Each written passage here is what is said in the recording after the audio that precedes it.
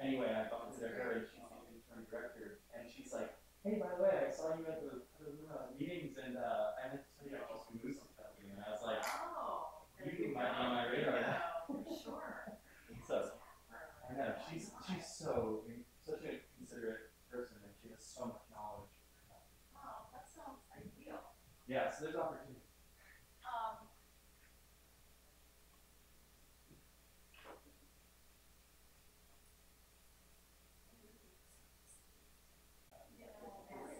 Yeah, you're doing pretty well. Yeah, absolutely. Are you able to call on? Yeah.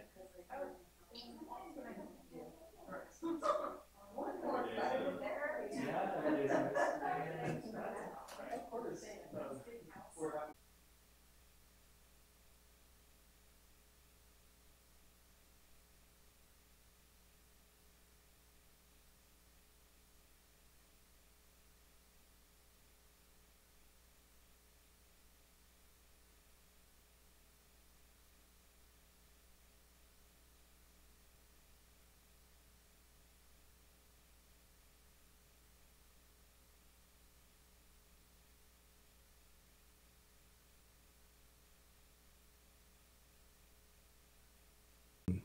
Agenda item number one, which is the Public Works traffic calming.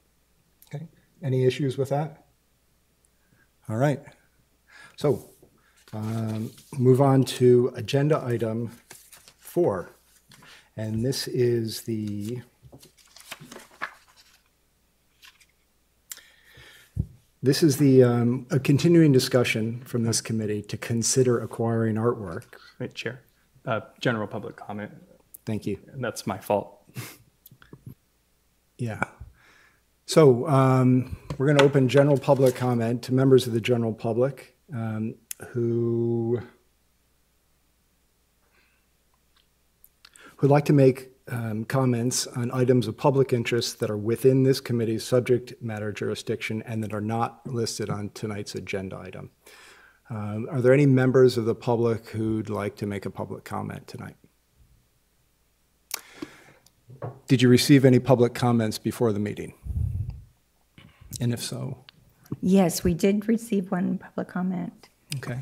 Did- Yeah. David, did you want to Sure, mention it that was one? uh, sent along to the committee earlier this afternoon, and it was not pertinent to tonight's agenda. It was regarding the Black Lives Matter mural in front of the uh, the library. So um, that's been uploaded to the website and passed along to the committee. Thank you.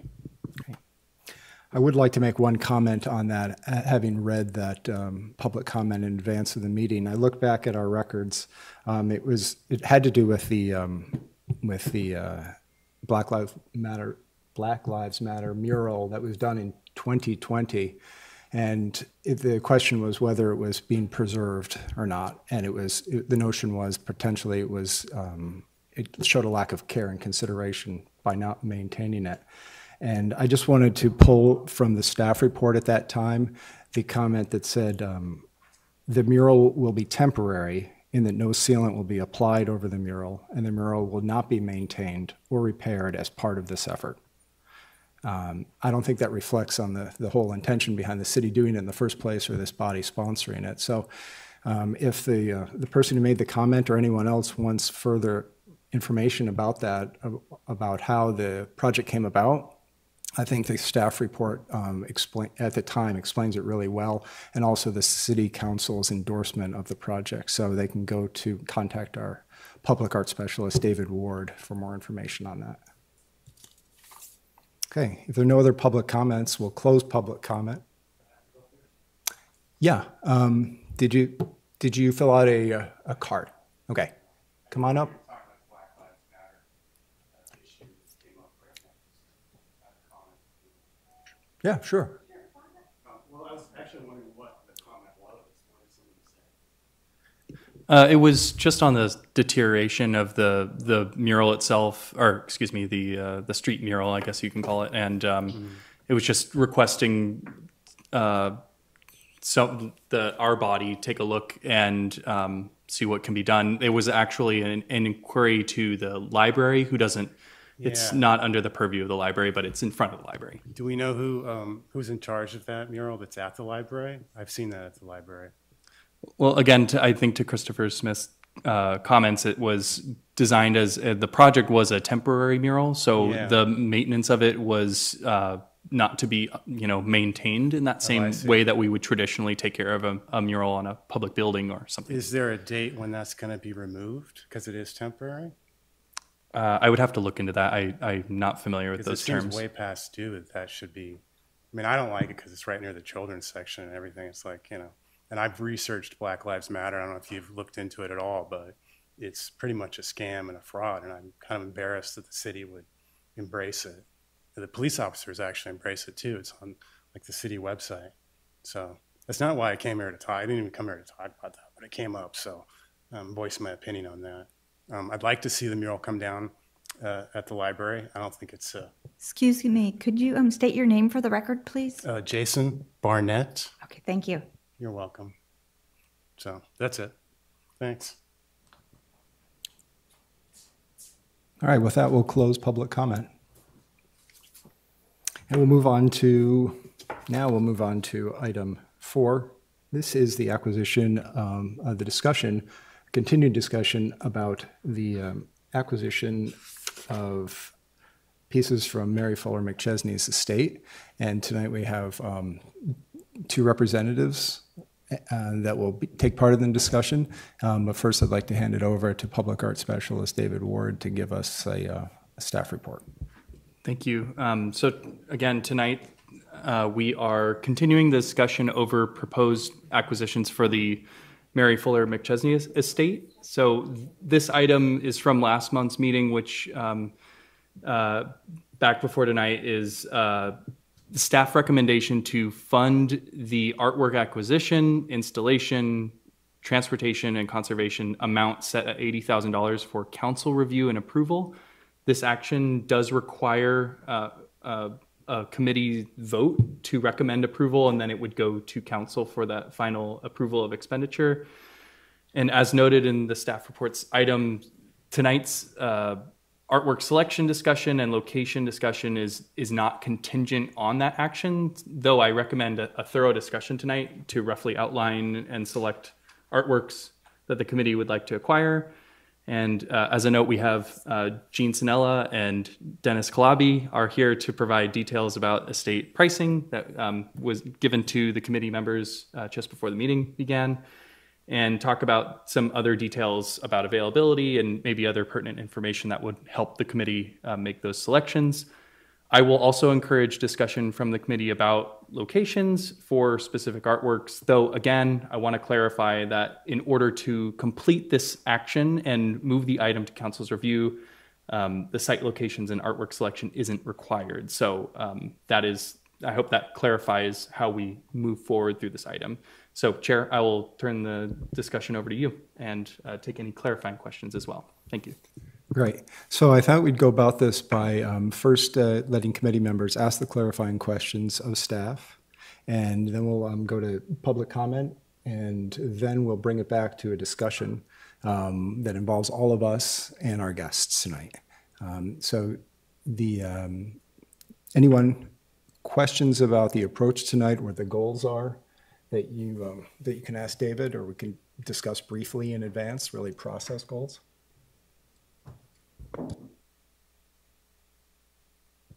Okay, great. So um, then we'll open general public comment. Does anyone have public comment on this specific agenda item? Seeing no comments, we'll close public comment and we'll open discussion on the matter. Um, I think it's important for us to to to really keep an eye on, to really un- appreciate how unique and somewhat complex this agenda item is if we let it become complex. Because there's so many pieces out there, and until now, so many there's so many unknowns. Um, I think the resources um, that Dennis and Jean bring tonight are going to be invaluable to us. Um, their history with the artist, but we're talking about acquiring lots of pieces or a number of pieces. We're talking about multiple sites, and we're talking about creating some sort of legacy for this artist in Petaluma to the best of our ability. So um, it's hard to, I think, keep all those things in mind, but really, I think at the end of the day, what we're, what I think we'd like to leave here with is some sort of an understanding of um, what, of, you saw the budget, the proposed budget, um, whether or not that's appropriate and whether we can send that forward. And really, for you all, what you're willing to sort of um, bless as the expenditure on the pieces themselves, what percentage of that? And that to me is probably the, the most uh, highly negotiable part of this tonight. So, um, with that in mind, let's, uh, I guess we could, um, if you're just, maybe we can ask a few questions among ourselves or talk about it a little bit more to get some clarification on some issues or um, to hear, sound out how other people are, do, are doing, or, we, or if there's nothing to be said in that realm, then we can go directly to our guests and start asking questions of them.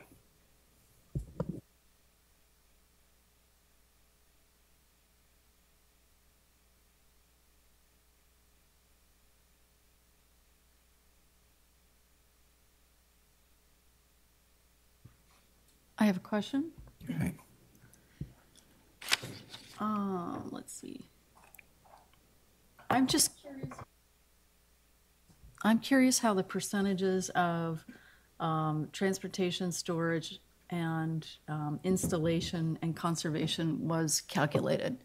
Um, I'm just not sure if that's based on something similar that we've encountered or if it's um, almost an industry standard. I'm not, how did that come about? Yeah, that's a great question. So, um, again, from looking at other uh, public art installation contracts that were available publicly, and then other museum estimates as well, that's how those numbers were put together on top of um, just the volume, the sheer volume of artwork we're dealing with, and the materials as well. So, trying to look at rental prices for equipment that might be necessary.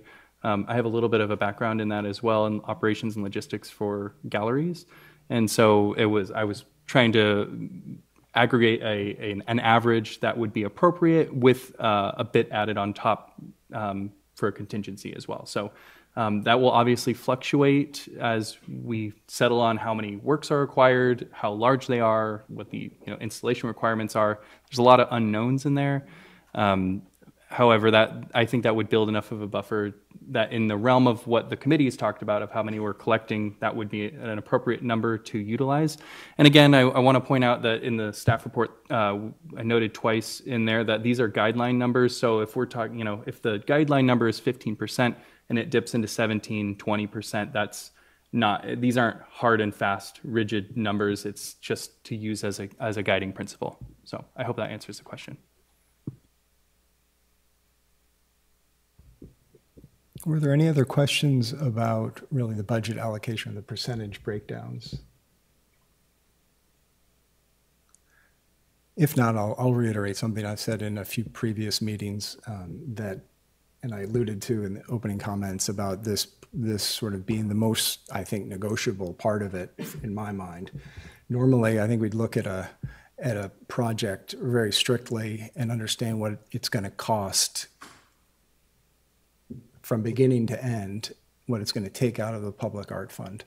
And I'm not saying not doing that here, but I'm saying it's I think we'd be wise to look at this opportunity for acquisition above all else at this point and realize that one way or another we'll be able to take care of some of the other um, costs associated with this a little bit down the road, either in conjunction with other bodies as um, um, cooperatively or just as later expenses for this committee. Okay, so I guess I'd say uh, err on the side of uh, I don't know.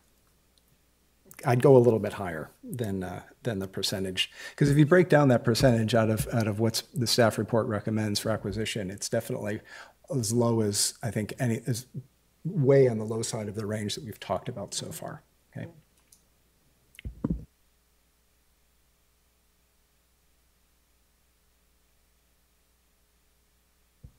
All right, so if there are no other comments, what I'd like to do is also um, is you know, convey uh, Chair Abercrombie's um, some, some of her wishes that she wanted to communicate at this meeting. And I think you've heard them before, um, but I think what it does is, is helps. She's done a really good job since she's looked at this work from the beginning of our sort of exploration here.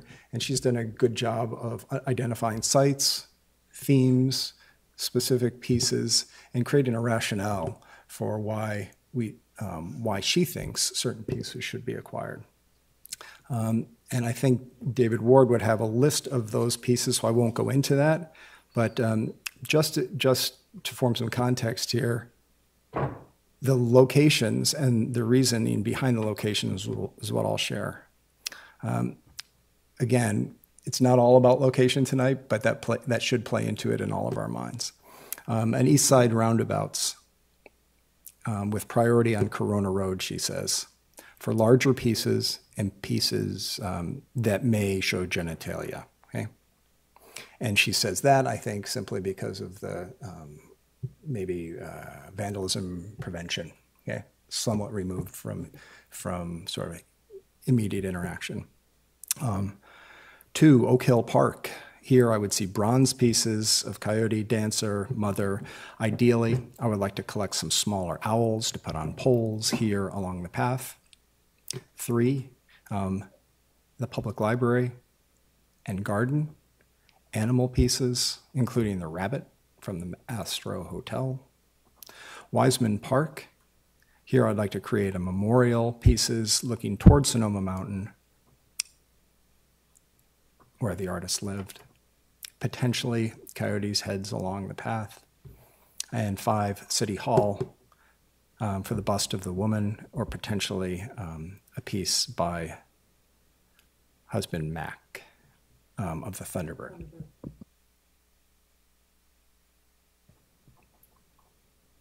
So, does anyone have any uh, anything similar she'd like to share about locations or rationales, collections, themes that you've seen that you sort of like you latch onto?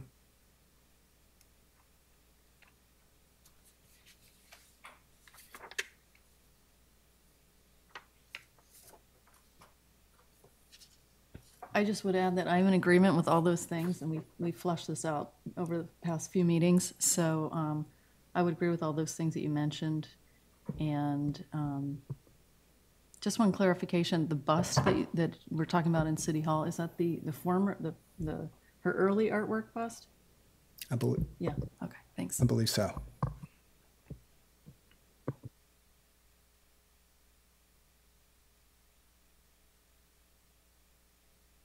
Yeah, I agree with everything that was said.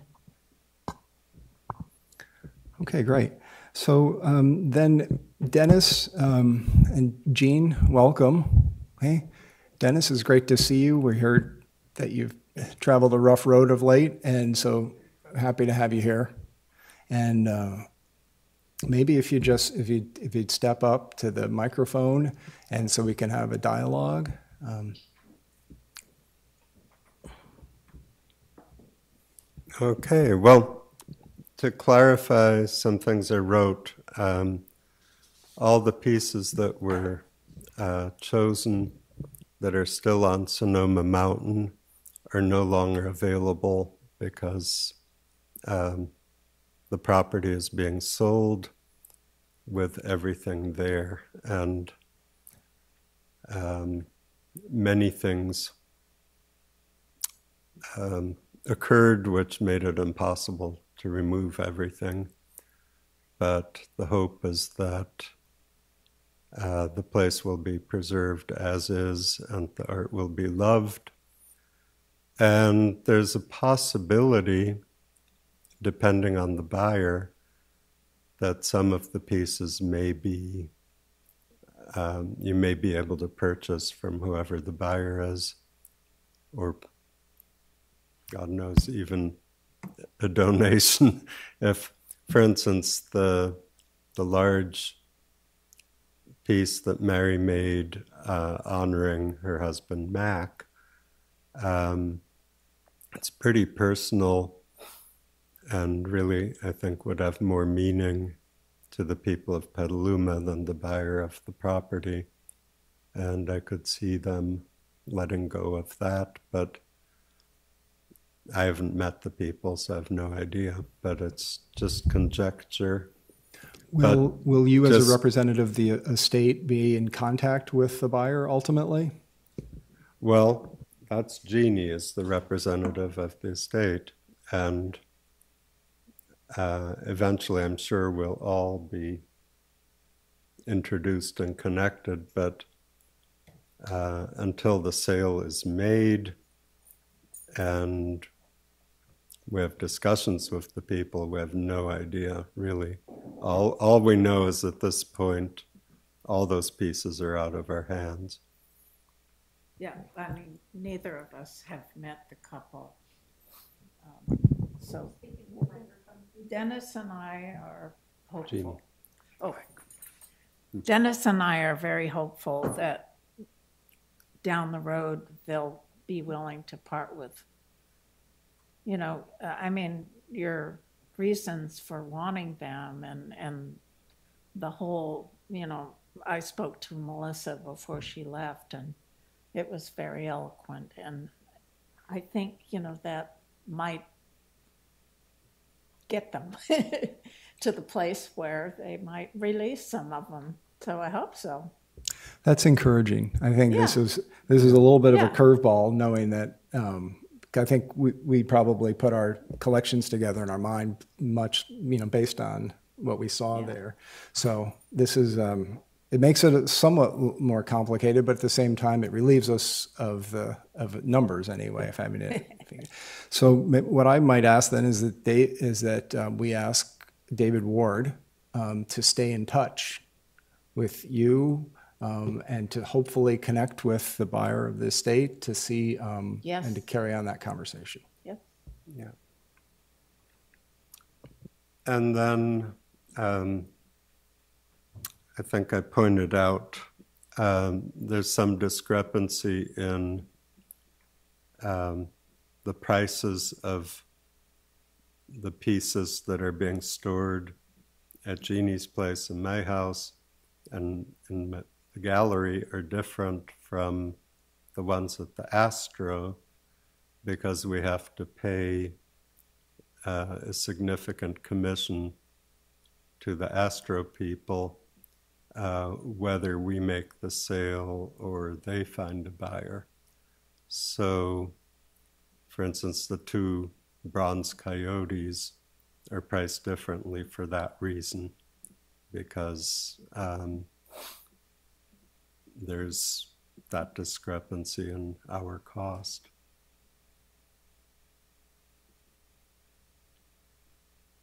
I'm just taking a But moment to ev- read this. everything has been steeply discounted, and the pieces other than the Astro, um, there could be some negotiation um, to reduce prices somewhat if necessary.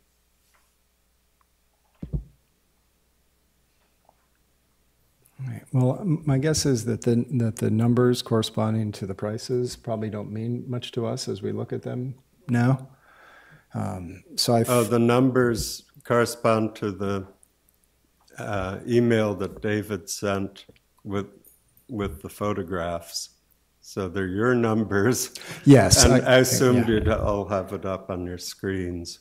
we 'Cause I don't, We can- especially in my current condition, do not have the wherewithal to figure out how to attach little pictures Oh, no problem to at all. price And- list. And we can certainly look at images tonight uh, if we would like to. Um, that's that's up to the committee. Um, the numbering was, and the this nomenclature was just we needed to be able to talk about specific works without knowing the names of them, so we had to find a way to do that No, quickly. it's perfect. Yeah. And so um, I hope that uh, is still sensitive to Mary's work and not uh, doling it down to just numbers Oh, and no, figures. I, I think it's fine, and since most are untitled, how else could you do it? Yeah. Can I take a moment then to, while you say most are entitled, to ask a few questions, just so you can clear up a few things? I wanted to know what um, you do, how, how um, if we were to acquire them, what we do about titling and about attributions throughout, you know, based on where they're left. Is that something you can get back to us about? Um, we can always put the artist's name on it. Well, if you are dating, titled and a few, there's a number of others that I know Mary's colloquial descriptions of, but very few have a formal title. So they can be described, for instance, the two tall bronze coyotes are titled uh, Coyote Goddess and Her Birds. But most are not that formal and complete. Okay. Thank you. And as it stands now, nothing at the Sonoma Mountain Estate is, is, is available, but everything at your residences and at the Astro Motel that is not, hasn't already been sold is, is available. All are available. Okay. And there's also uh, more pieces uh, at my Gallery, which the committee didn't come to see. And there's only, well, there's one more of the coyotes. And uh, the snake goddess that uh, the public might not like. There's um, a woman pleasuring herself with a little help from her snake, and it's a great work of art, but uh, I can imagine there could be some negative public commentary. Um, and then some small pieces, which I don't think are appropriate for public display because they're too easy to steal. So that leads me to one, for me, very important comment um, that other than the bronzes, uh, most of the pieces are built in pieces that are set over a central pipe.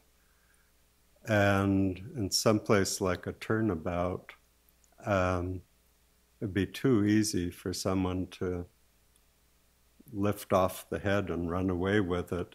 And then what do you have? A, a headless sculpture. So I think most of them really need to be in somewhat secure places and not just out in the middle of nowhere. Thank you for that. I think some, that's something that you know we occurred to us, but we weren't sure of, or we've been able to sort of gloss over a little bit in the excitement of understanding. So, On the other hand, um, when you consult with an objects conservator in terms of cleaning, and most pieces are in good condition, but really need to be cleaned and sealed of the concrete pieces. And um, so I can recommend people, or you can find your own, but um, my thought would be that to consult with that person or persons on the possibility of um, some reversible system of locking the pieces together um, so that no one could lift off the top pieces that all be attached and fused together. But I'm a paintings conservator, so the the basic tenets of conservation are the same across mediums and uh, materials. And one of the classics is that everything you do should be reversible. So it either need to be some sort of um, metal armature that keeps it all together, or if it's an adhesive, it has to be one that's reversible with the appropriate solvent rather than something that's forever, which often goes contrary to practical solutions.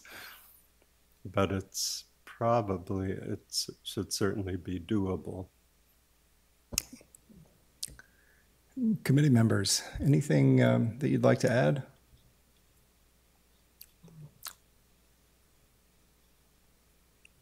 I had a question on the document you gave us, David, about it says the bench we were interested in is no longer available but Dennis's letter said there is one that's more elaborate and interesting. Do you have that Oh. photograph? I can give you some photos. Right, and so the only information I was able to give to Dennis and Jean prior to this meeting was everything that we've all looked at together. So I don't have any additional information except for what Dennis can share with us tonight. And Okay. this document was only given to me at the same time Oh, as all of you. So hopefully we'll we'll be able to pass around these photos here in a second.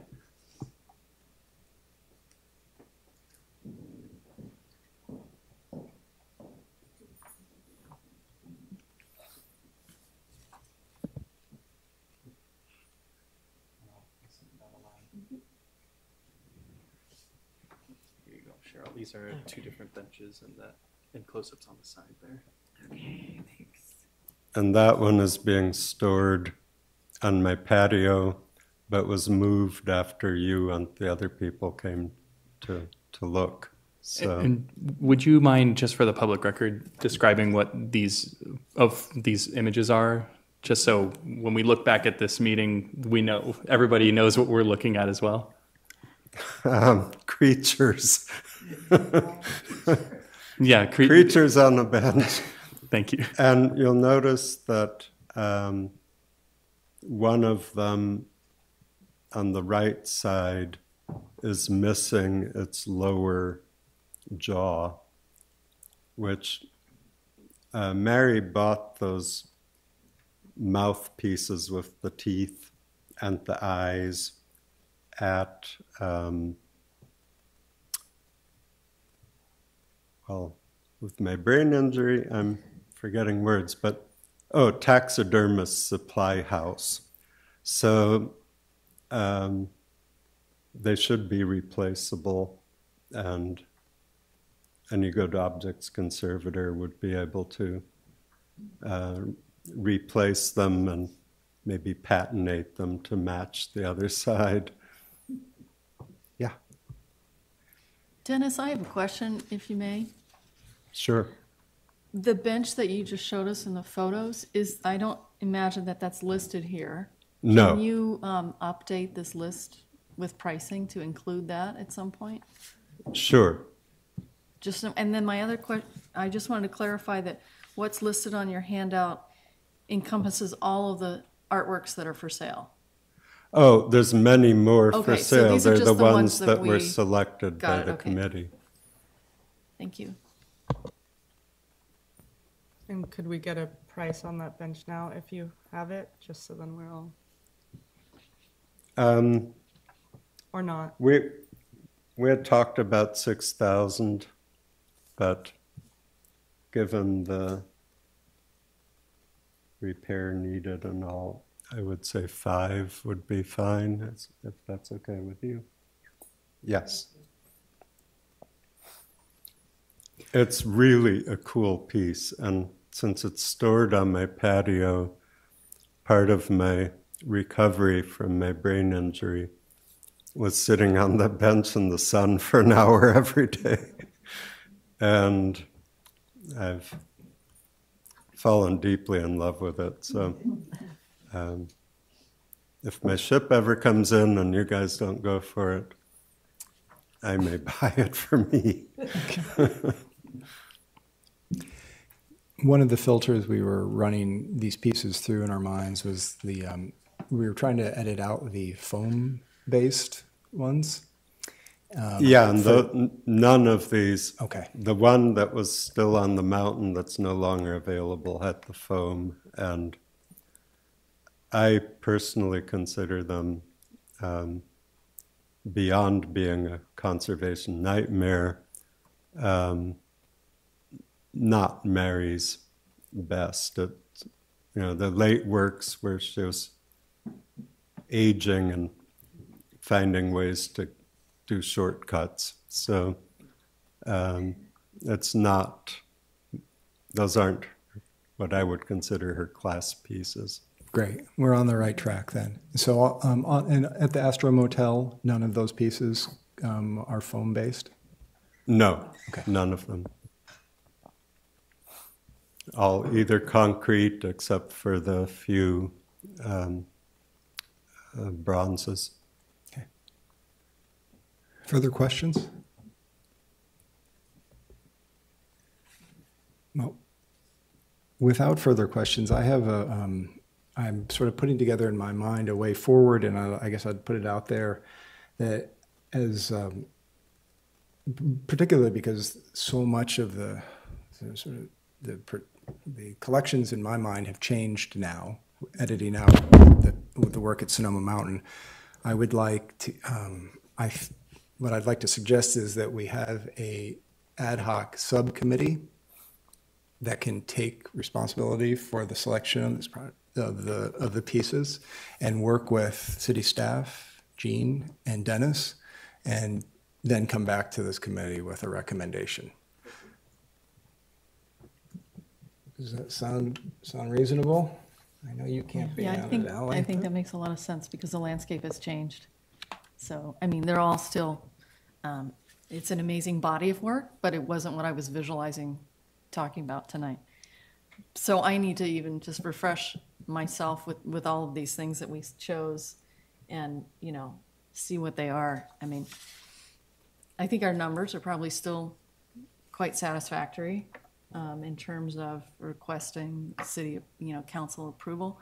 But I'd like to, I agree with you, um, Christopher, that we should do a little recap together. I just had a quick. Quick note um, that if we do create an ad hoc committee tonight, we should keep it to two members just to respect the quorum and Ally's departure. So that's it. All right, thank you for that. Um, If, since that's agreeable, what I'd like to do then is, without her being present, nominate the, uh, the probably, our, our committee chair. Um, She can always back out of that, um, but I think she would value greatly being, being part of this. Um, And if, is there any dissent there? Does anyone really get bummed out by me putting? Okay. All right. And then would, would someone else like to join the subcommittee, someone who feels like, I, I don't really serve on ad hocs, but I'll, I'll be your staff support and I, I will be happily joining you for outings and whatnot that I'm invited to.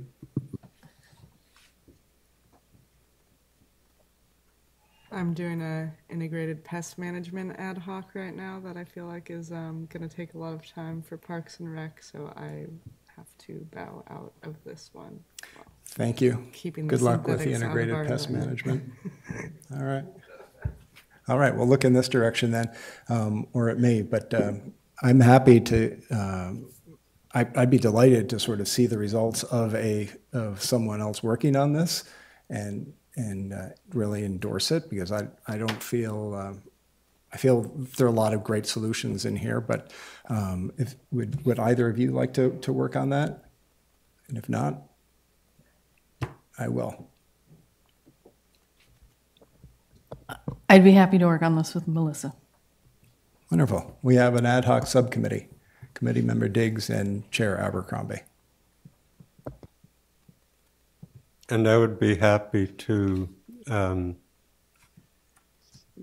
give whatever assistance needed um, in, you know, figuring things out, um, questions about pieces. And uh, one comment would be that while professional art handlers can do excellent work, that uh, a lot of the same work could be done by certain highly skilled laborers for a tiny fraction of the cost. And um, I would certainly consider that because otherwise the costs could skyrocket. Although for the actual work on the objects, uh, I definitely vote for using totally uh, top of the line conservators because treatment of objects can really go south if it's not someone properly equipped to do it. Thank you for saying that. I think that, that means a lot coming from you. Um, that the first part of what you said is what my I had in my gut, and that's why I was so rec- that's why I was recommending we're a little bit loose on some of those added expenses because I think we can save on that or get cooperative engagement from other people to maybe do some of the He Yeah, has and- names and phone numbers. great. Yeah, and I'm in contact with one who I'm going to be engaging to work on some of the pieces in my care. And so once she comes up to look, I'll have a better idea of um, costs and what proper treatment would be. You know, Mario's advocated uh, cleaning and uh, recoating with Thompson's water seal every two years.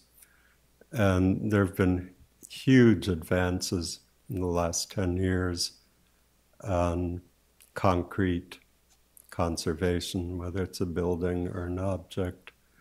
And there's probably much better ways to go now. So we'll see.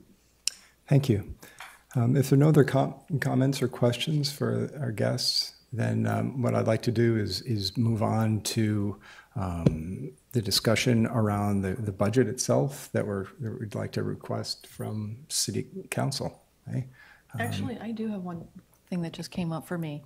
Um, Dennis, just looking at your list here that you put together for us, are any of these, do you feel time sensitive in terms of? Well, that was going to sticking be my next question is that uh, everything is for sale, and both the trust and I are in need of funds. But if you could sooner rather than later come up with a list of faves, we would take them off the market. Um, and part of it is, I don't know what your timeline is, but sometime this summer, I'm planning. This was actually planned for last fall, but it never happened due to many circumstances. But I want to have a major memorial and celebration of Mary's life at the gallery and bring as many pieces as it will fit to my gallery. And then the walls would all be hung with Robert's work. And since I am theoretically a for profit gallery, I would want the pieces there to be for sale. And so if we knew in advance which pieces you most strongly favor, I would keep those out of the show. So no formal commitment, but just um, give me an idea. Great. Well, thank you for coming here tonight, and um, welcome back to the land of the healthy. Hope you Thank continue you. recovering. Yeah, basically, um, it was a week ago those first given permission by the doctors to get out of the house and to look at a computer and watch TV. I mean, I, I wasn't even supposed to read books. And it's an incredible liberation, but I'm, I'm still pretty fuzzy in my head. And, you know, at, like compiling this list took me a week because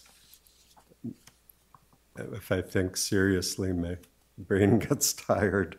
So I'm nowhere near 100%, but just being able to walk around and talk is great. So thank you for that. Yeah, And Jeannie? For your patience and Sure. support and all of that. Jean, Jean, we'll, um, we'll be in touch, hopefully to, to keep the, the line of communication going between you and the, the buyers of the, the property. And then, um, collectively, you'll hear from our ad hoc, from Melissa and, uh, and If I hear something before I hear from you, you will hear. thank you. Also, if you want to hold on to these photos of the bench, you're welcome to them. Sure, we I can, only made one set. we can make digital copies of those too. And I can, I can upload those to our, our Dropbox that we've been working with.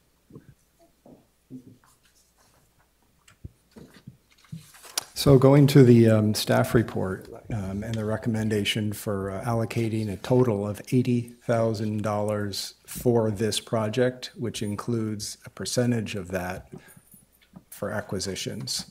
Um, We can open that to discussion, or if that's, if you'll take staff's recommendation, we can move to approve that.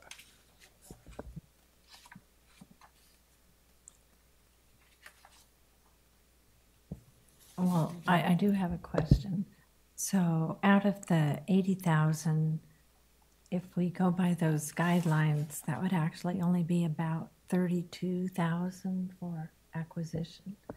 I mean, if we could bump it up to fifty percent, that's still forty thousand, so, um, like I just did a quick calculation here of the letter. That's around ninety-five thousand, so, um, Thank you for putting that in perspective. And I did the quick math when I saw that list and quickly realized that, you know, we would bust right through that. So we're certainly not going to get everything we want. Right, right. I mean, might if we get half. bench, which I love, the, that bench we just saw, that's over a hundred thousand, so, um, yeah, we're gonna have to parse this a little more. Yeah, you're, and I don't want to encourage irresponsible sort of spending of the public art fund here, but I do think that being a little bit generous in this realm or just thinking optimistically um, is, uh, I think would serve us well in, in the long term here. So, but really what we're about is deciding what that, uh, what we're going to request as a overall budget allocation um, to be approved by city council. So relative to the eighty thousand that staff has recommended, do we have any other, um, would you like to go up, down, or stay right, right there? And Uh, well, if I could ask David a question, where did, I know we talked about sixty to eighty, so did you go with eighty because that was the higher amount, or was there? Yeah, and so again, it, I think it's noted in the staff report that any amount, if, if this whole project ends up for, um, um, you know, just to, to imagine, if it costs us sixty-five thousand dollars to do this whole project, at least the earmarked amount in the budget that is committed towards this project was eighty, and any unspent funding, including the contingency number that was baked into that, those estimates, will all be returned back to the public art fund.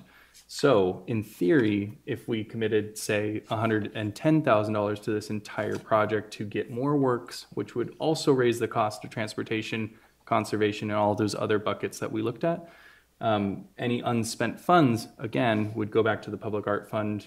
Um, and I also wanted to point out one other item on here that was nearly impossible to try to bake into these estimates was staff time. So it's again, I don't see this as a pr- ongoing project for years and years and years. Um, however, there will be, you know, this these are invoice numbers that we're talking about, contracting services for art handling, for transportation, for conservation, and the actual sticker price of acquisition. So I just wanted to be um, extra squeaky clear about what what numbers we're talking about. And David, can you remind us what is available right now in the fund? Um, I can pull up here um, our last Q2 budget. Um, It just take me a moment. Great. I just realized with all the stuff I brought for tonight, I don't have the budget. Dennis and Jean, if you, I don't think we have any further questions for you, so, um, Thanks. thank you. Yeah, it's Yeah. time for me to lay down. So, I Appreciate you thank being here. all. Yes. Yeah, Nice to meet you. Thank you both for being here. And I'll be talking to you. Yes, we'll we'll be in touch. All right. Take care and drive safely. Um, Cheryl, the last time that we looked at the ending balance at Q2 was three three hundred and seventy six thousand dollars and some change. and uh, we are expecting some income in the next quarter as well. So um, I'm also I can bring up the committed funds if you Yeah, wanted me to. Yeah, that's the other part. So this is the total and then what's already committed. Yeah, I was just gonna. Right. Um, let's see. Including eighty thousand towards this would put us at I, I think roughly two two hundred and two hundred and sixty five thousand dollars out of that that total number. And again, these are these are rough cut numbers, um, and some of these things have wrapped up a little bit more. Um, or see even there i made a mistake sorry i was reading too quickly so we have remaining remaining project amounts at $163000 so that's what's committed out of the 376 and and change So about one sixty-three is still available? roughly Okay, right, roughly, okay. I don't know. I'd like to entertain, maybe we go up closer to a hundred thousand instead of eighty thousand. But I also am very conscious, this is other people's money, so to speak, so um, I want to be very careful with our decisions. I concur with you, Cheryl. I was thinking along the same lines. If knowing that any unused funds goes right back into the the public arts fund, that gives me great comfort. And I would rather have the bandwidth to do this properly. I mean, if we're looking at the cost of these items, there are 17 items on this list. If we stick at a at a 40% purchase, that allows us maybe five pieces generally. And I think our intent was to get at least a dozen. So granted, that's a generalization, you know, some of the pieces are 10, 13,000, some of them are 450.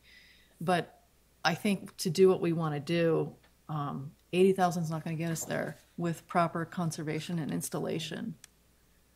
So I would agree. I would, I would like to see um, the amount raised to 100,000. Okay. And hearing that, Cheryl, do you um, does that does that figure f- feel better for you, more solid? Yeah, yeah, definitely. All right. Well, there seems to be gentiment, sentiment to, to raise the allocation. So would anyone like to um, uh, make a motion to approve that expenditure? So I'll make a motion, um, and you'll have to help me craft this sentence properly, but that we go forward to city council with the idea of setting aside $100,000 for the acquisition of an unknown number of pieces from Mary uh, Fuller McChesney. Yeah, yeah, that, that sounded pretty good to me. Recommend. Okay. So I'll, I'll see if I can summarize. So rec, the f- committee moving forward with recommending $100,000 to fund artwork acquisitions from the Mary Fuller McChesney estate and contract for artwork installation, transportation, conservation for city council approval. Does that sound like a good summary? Thank you. Yes. Thank you. I'll second that.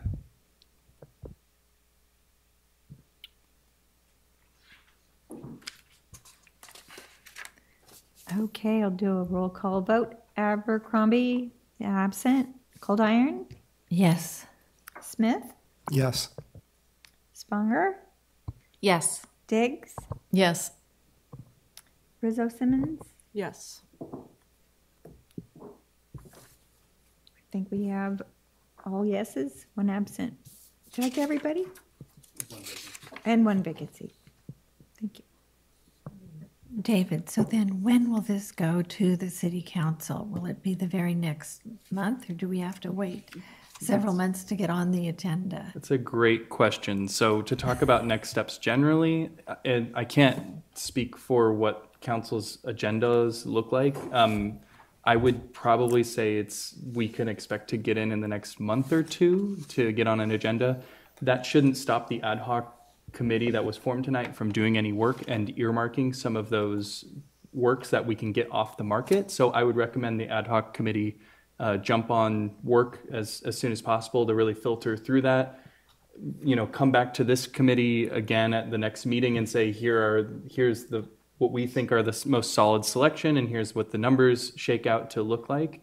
Um, and then, you know, we're in the queue to go to council. And again, we don't need to have um, artwork selected or location selected when we go to council um, because that recommendation was made tonight. But um, we should definitely uh, have the specific artworks looked at and just so we can get them off the market. And I, you know, I think it's pretty safe to say that those, you know, the commit, I don't want to speak on behalf of council, but um, I, I don't anticipate them blocking, you know, a, a recommendation to collect artwork. I mean, it's, uh, you know, it's just, it's an expenditure. So I would be pretty shocked if that happened. So, yeah. Okay, with that, we'll close out that agenda item. And um, David, I'd like you to stop me if procedurally this is inappropriate, but I'd like to, to ask the committee if they have um, an issue with adjusting our agenda yet again, because, uh, and putting the, what was going to be the next agenda item, which was number five, um, behind what is the original agenda item, number one, because the presenter of that is now here. Any problems with that? Procedurally, we're okay with that? It's your meeting chair. So, yeah. Okay. It all makes sense to me. Let's do that. All right. All right, so we'll move on. We'll move on to the original agenda item, number one. Um, you can either go to the podium. We have a microphone here. Um, it's it's up to you. Right, and um, just bear with me while I'm pulling up Bjorn's presentation. But today we have we have Bjorn, um, active transportation planner. I hope I have your title right from Public Works and Utilities, and uh, he's here to speak to us uh, about upcoming opportunities to work with Public Works and the Public Art Program to collaborate on traffic calming and road improvement projects. So we're going to be speaking at a high level to introduce uh, what this can more or less look like. So um, let me pull this up. Thanks, David. Um, good evening, committee members. Uh, my name is Bjorn Griepenberg. I'm a project manager with uh, Public Works and Utilities. My title is not active transportation planner, but I am sort of the de facto active transportation planner. Um, I'm actually the uh, the staff liaison to the Pedestrian and Bicycle Advisory Committee. So that's um, generally my area of emphasis, although with everything going on in public works, we get pulled in a lot of different directions. Um, and I'll just, uh, I know David's queuing it up here. Um, so really happy to be here tonight. Looking forward to this discussion. Um, and you can go ahead and, and, go to the next slide. Thanks. So uh, our my my personal goal here tonight, and I've, I've coordinated quite a bit with David, is really just to um, introduce this topic uh, to you all um, around the opportunities uh, that we are seeing to begin incorporating public art in some of our um, road improvement projects, more specifically projects that um, deal with traffic calming or other uh, safe streets elements. Um, so we what would be really helpful tonight is just um, again, like David said, have a high level discussion about um, uh, the topic, discuss potential roles and uh, and and the process. Um, really, nothing is set in stone, so this is a very open discussion, and then identify next steps towards formalizing uh, this process. So, as um, some of you may have noticed, we've uh, there's definitely uh, an emphasis on safe streets in Petaluma. Council actually made it one of their top ten uh, goals uh, to improve safety on our streets for all road users, and um, we've adopted several plans and policies around improving safety. Um, notably, including uh, a commitment to Vision Zero, which means uh, we are working to eliminate all uh, deaths and severe injuries resulting from traffic collisions by 2030. And um, we see uh, these small, smaller um, traffic calming projects, like you see in front of you, as a as a key way to achieve that goal. Um, so, actually can back up one step. I'll just describe um, sort of. Uh, what our current approach is. So, uh, these are two examples of, of recent traffic calming projects. Um, on the left there, that's uh, what we call a bulb out. Um, that's over near Loma Vista Immersion Academy at Monroe and Monroe Street and Tahola Lane. Um, the purpose of those is really to um, shorten the pedestrian crossing distance, put them out in a more visible location um, so that drivers can see them more easily. You're not peeking around a, a parked car and you know taking your life into your hands uh, while, when stepping out into the street to cross the street. Um, and they also slow uh, vehicle driver turning movements. So that's that was a what we call a quick build project that we did. Um, it was requested by folks in the neighborhood, and um, so we're able to design and install these pretty quickly, just using paint and other um, elements that we can mount directly in the asphalt. Um, you can see that we used the the parking blocks there, and we also took the stop sign actually off of the sidewalk and moved it out into a more visible location in the street. Um, and then on the right there is the uh, the new traffic circle at Upham and Bassett right outside here. Um, again, that was initiated by a, a neighborhood request um, related uh, largely to high school um, cut through traffic in the neighborhood, and we actually observed speeds on um, uh, on Bassett Street up to uh, I believe 60 miles an hour, which is hard to believe. That's a street with a 25 mile an hour speed limit, and so the goal with the traffic circle is just to add something, put something out on the roadway that makes drivers slow down, and um, and it's uh, proven to be a, a really uh, effective solution. Um, right now, we're hearing from neighborhood groups all over the city. Everyone, every neighborhood uh, is observing a, a, speeding issue, and they everyone wants more and more um, uh, traffic calming uh, elements in their neighborhoods. So we're actually formalizing a process through which um, neighborhoods would be able to nominate certain locations where they're seeing speeding or other safety issues. Um, we would then score them. We're developing some criteria to score these projects because we're getting so many requests and then implement several of them on an annual basis. And um, again, those are kind of neighborhood initiated spot improvements. We also have larger corridor projects like the uh, Fifth Street Neighborhood Greenway. That's a project that will um, go from Western all the way to uh, Mountain View. So, a pretty long project that will include um, lots and lots of bulb outs, traffic circles, chicanes, other traffic calming elements throughout the project throughout the corridor. So, um, uh, yeah, it's just a, it's it's an exciting time to be um, involved in all of these efforts. Um, we are hearing from the public that uh, these quick build installations are not very um, the, the, aesthetics could be improved right um, you look you look at that at those two examples you see a lot of striping um, signage. Uh, a lot of them also we use those plastic delineators. You know, those are not the most um, attractive. We, we, understand that, and so especially in um, in the more residential areas, we hear about concerns of just the the aesthetic impacts of these um, traffic calming devices. All right, I think I'm finally ready for you to go to the next slide. Um, but there is a great opportunity that we're seeing, and that's um, uh, the opportunity to install artwork in some of these spaces that we are uh, beginning to carve out. So these are two um, pretty recent examples from a bike boulevard project down in Redwood City, very similar uh, in nature to what we're looking to do on Fifth Street, um, where they were able to install murals within the traffic circles. And we've actually talked about um, uh, trying to do that out here at Upham and Bassett. Um, and that's that was one some the inspiration partially for for me coming to you tonight to introduce this topic is just realizing we don't really have a process worked out um, to to make this happen.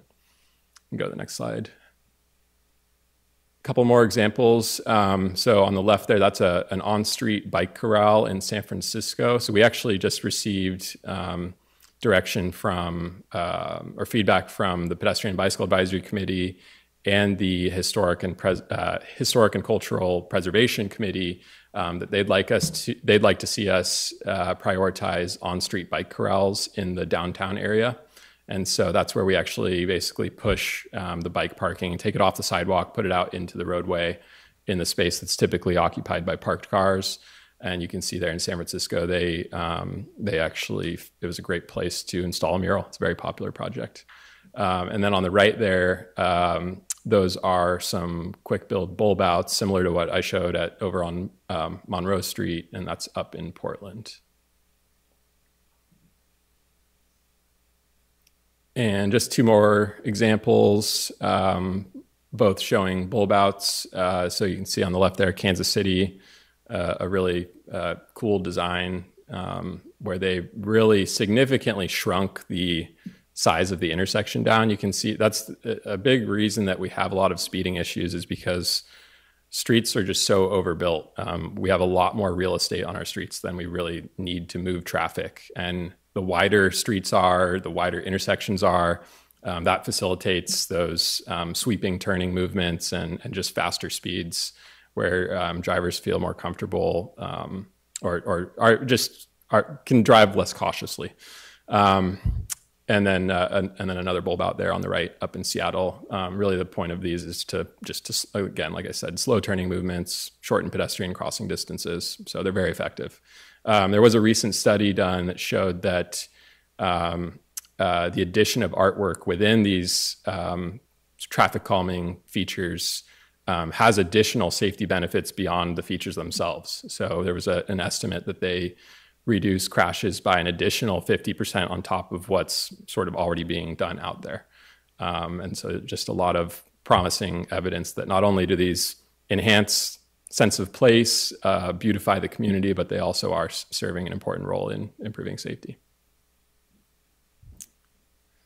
So now turning to the potential roles and process, and again, this is very open-ended, open to discussion and feedback. Um, uh, ha- David and I have had some preliminary discussions, and um, this is sort of generally what we've what, where we landed. Um, Public Works and Utilities, our, our primary responsibility would be to identify existing opportunities. We'll basically inventory and map all of the places that we've got these traffic calming features installed, but also coordinate closely with David on upcoming opportunities. So, the Fifth Street Neighborhood Greenway being a great example where we have a project that's in the design process uh, where we know we will have several traffic calming features, and it's a great opportunity to um, think about incorporating art before it's even installed potentially.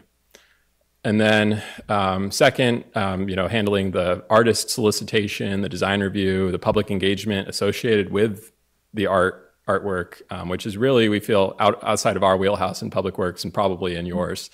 And then, lastly, um, the installation. So um, from what I've seen in, in other cities, there are a lot of cases where uh, artwork is actually installed by the same contractor that's doing the the roadway improvements. Um, those they're very very the the people who uh, lay down roadway markings are um, incredibly talented in in just their precision and being able to figure out um, ways to uh, produce different designs. So that's one option.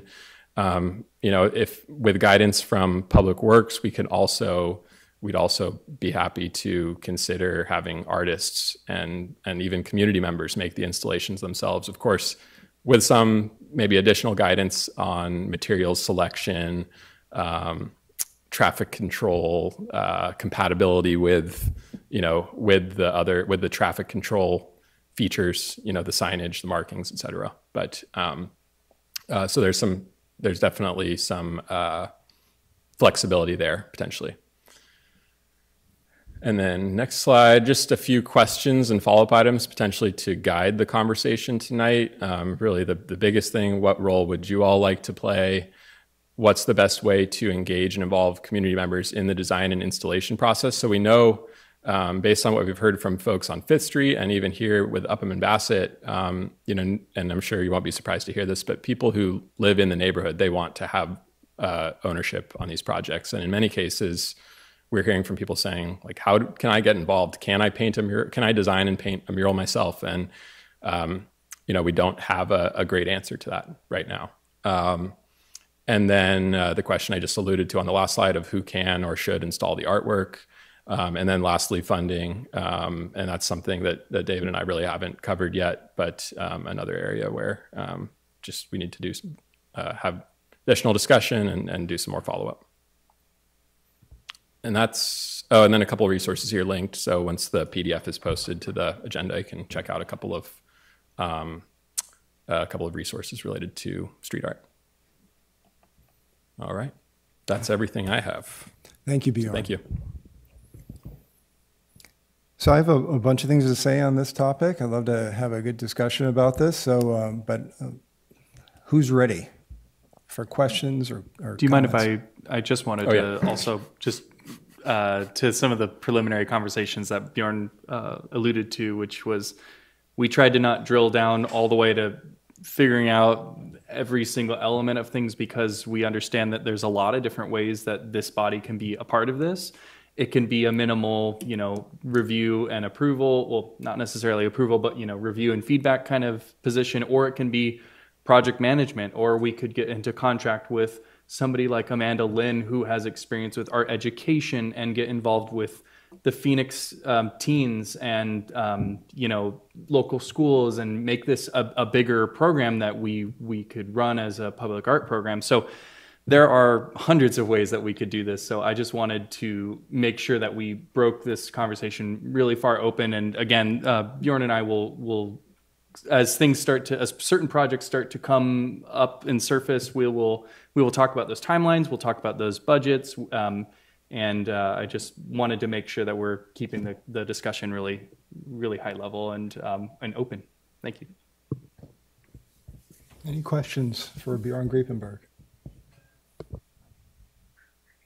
I just think like the materials and the paint used is going to be a huge. I mean, we've all seen the the crosswalk on Kentucky. It's basically not there. It's been what four months, five months. So I don't know if these other cities are using the striping paint that the that road crews use, which would make sense.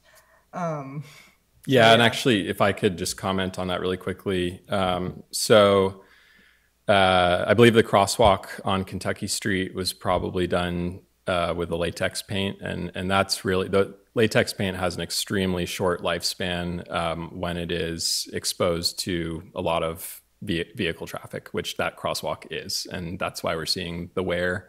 Um, and uh, so, anything within the roadway, we would probably lean towards what's called thermoplastic. That's the the heavy duty um, markings that you see on most many of our streets. Um, but those are actually um, so we would those would have to be professionally installed if they're out in the roadway. Um, the the areas we're identifying, which you know are protected by traffic circles or within bulb outs, they're not going to see that same level of traffic. So we might be able to use a latex paint, which kind of opens it back up to who can install it, um, and uh, and the use of uh, obviously a much um, cheaper and and easier uh, material to work with. Sorry to interrupt. I just wanted to. Thank you. yeah.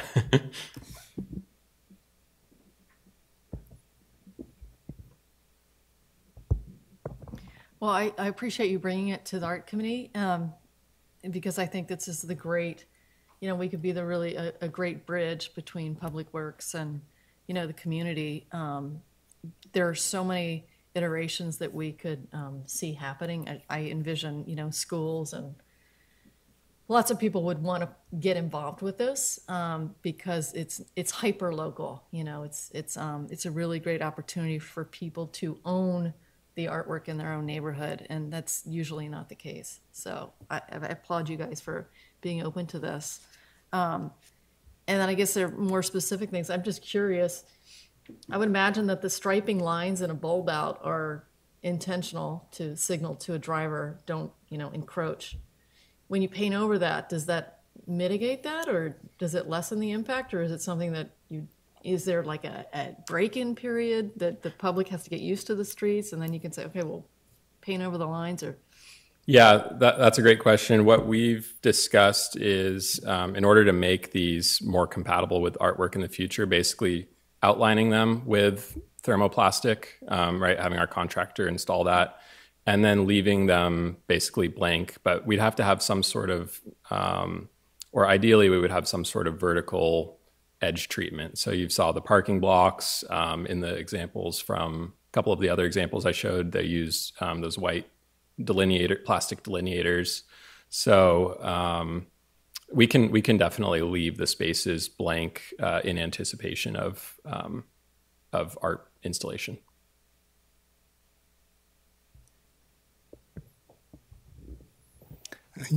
Some committee members may recall um, a couple times over the last half year or so, I've I've mentioned this um, this project or something along these lines and pointed us a reference that Bloomberg Philanthropies um, effort that's really that Bjorn is linked to.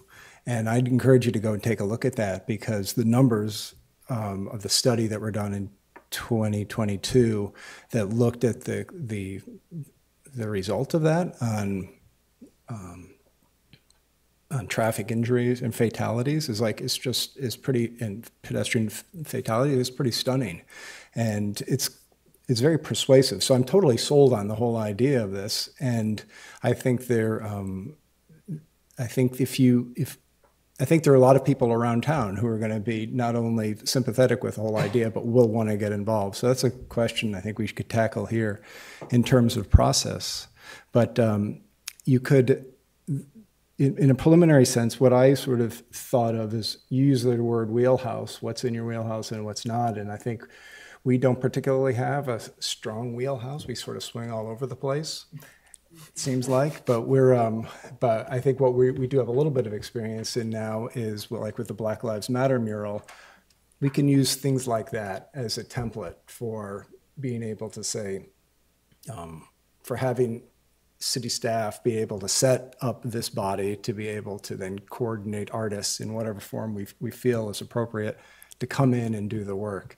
So I was thinking that that public the breakdown would be something along the lines of um, public works doing all the legwork, um, the materials research, things like that, being super clear about what the the thermoplastic, like what colors does that come in? What are the basically create a design brief for someone who would, come into who would come into it um, and would actually do the painting um, be it a community member or professional artist, um, do all the sourcing, the scheduling, keeping um, the permitting, all the technical production things, basically having someone there to solve those problems.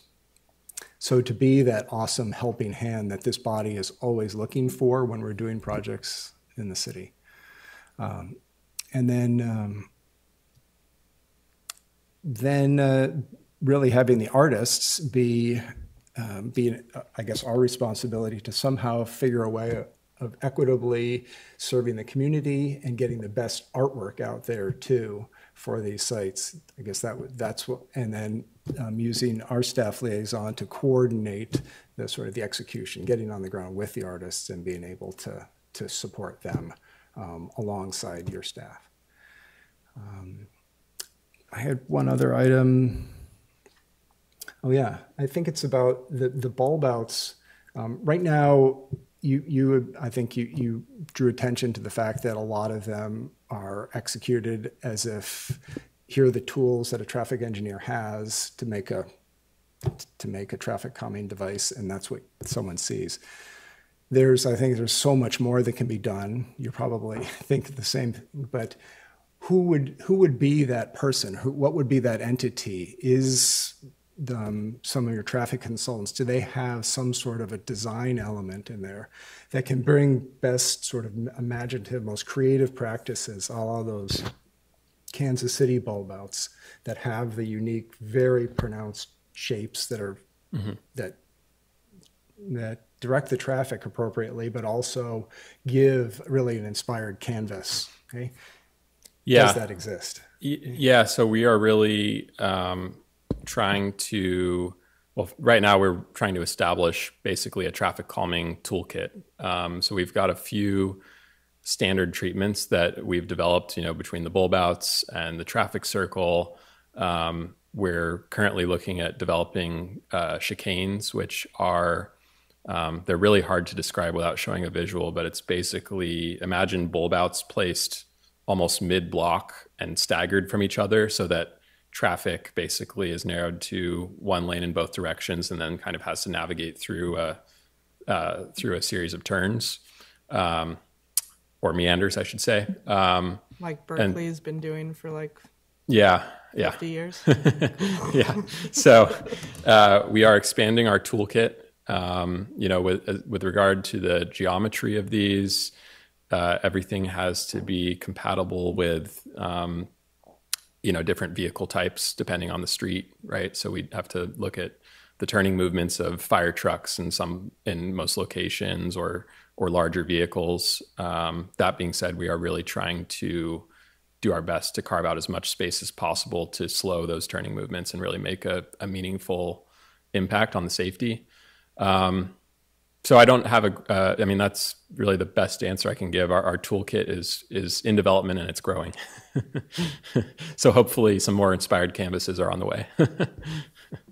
Great. Yeah. So ultimately, I think if if you get if you have an inspired canvas and a series of them, and you have that that brief, and that comes to us, and we're able to supply the artistic talent or figure out a way best way to get it on site. That's the um, then their job becomes our job, and their job becomes a lot easier. Very well directed. Yeah. And then I also had a question. I mean, it also comes down to time and volume, right? What is your sort of projected volume on these projects in terms of, you know, over the next six months or a year? Are we looking at four bulbs out or, you know, 80? I, I surely not 80, but, you know, because um, we are a small body and we won't, we're shrinking as of t- tomorrow and hopefully growing again in June. But, um, you know, that's, we have a full plate and I think this is a great project for us. I just want to make sure that we manage the incoming ask appropriately. Yeah, so we uh, we're definitely ramping up. Um, we're we're kind of establishing all of the systems and processes on our end um, to really uh, start delivering these um, uh, faster and uh, with and just in greater quantity. So the Fifth Street project alone, um, current proposal includes up to three traffic circles, bulb outs at basically every intersection, couple of mid-block chicanes. So um, uh, the there will be a lot of volume. Um, I think you know one way we could potentially manage that that the the number of requests that come in is by um, you know, as we're doing engagement for our projects, identify putting it out there, you know, there's an opportunity to install artwork in these in these projects and and maybe putting it back on the community if they um, want to sort of take the initiative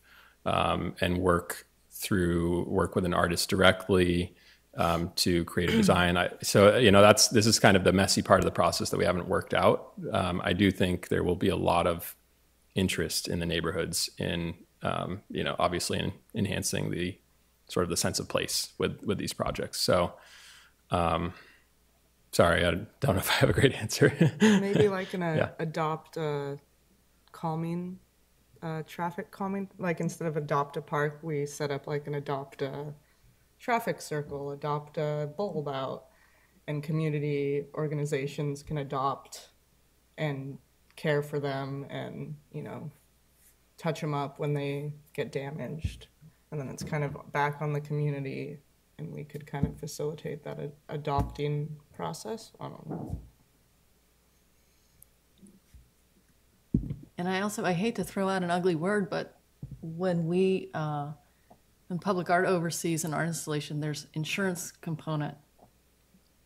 And if we have community out there wanting to paint their intersections, how does do you do you waive that or I mean Yeah, those are all things that would need to be worked out. Yeah. Obviously, with a contractor, that's addressed. Um, we wouldn't need to worry about that. They're already um, insured and, and under contract with with the city. Um, uh, you know, our typical or our current um, uh, delivery method for um, citizens is through the encroachment permit process. Um, that's the you know that's how the both of the murals, the the Black Lives Matter and the and the Kentucky Street crosswalk were done. So yeah, so we can. I mean, I think the that's that's what we have to work with. Uh, we would probably use the encroachment permit process, but we could maybe find ways to streamline it. Um, you know, currently there's really nothing up on the city's website that tells you how to go about uh, installing street art. So, um, you know, that's something that that uh, I know David be, is is great can can help with that, um, streamlining that process. We can definitely support um, kind of looking at how encroachment permits are currently processed and trying to create some sort of um, uh, clear education and messaging on on how to get through the process.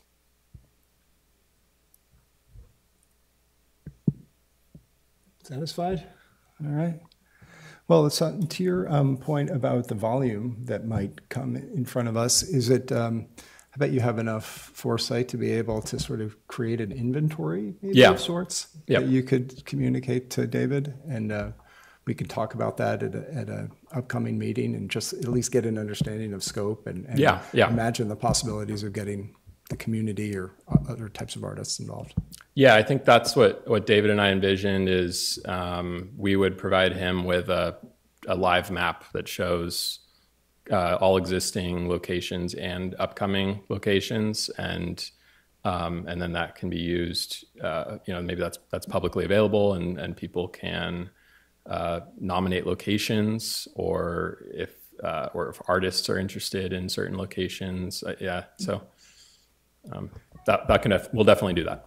Great, thank you. Yeah. And um, beyond what you presented tonight, I, I'd ask that you keep in mind um, what you've seen this body do or, um, for for other projects that you might encounter um, in your day to day work. So, thank you. Yeah, definitely.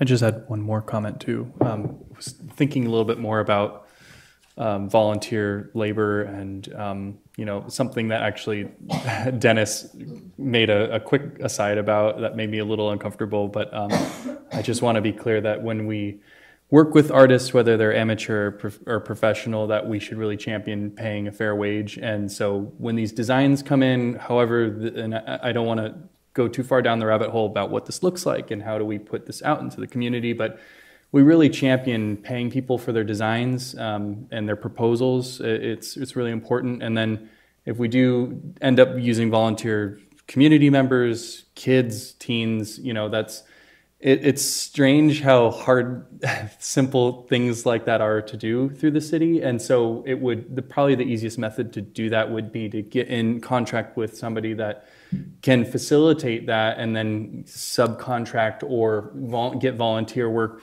in exchange for experience and stipends or whatever that might be um, so i just you know that's where my brain is is currently going and I, I just wanted to to bring that up in front of the committee before we you know talk too too much about hard numbers and things like that so. Thank you. Uh, honestly, I can't remember whether we had public comment on this item or not. Um, so I will open it to general public or to public comment.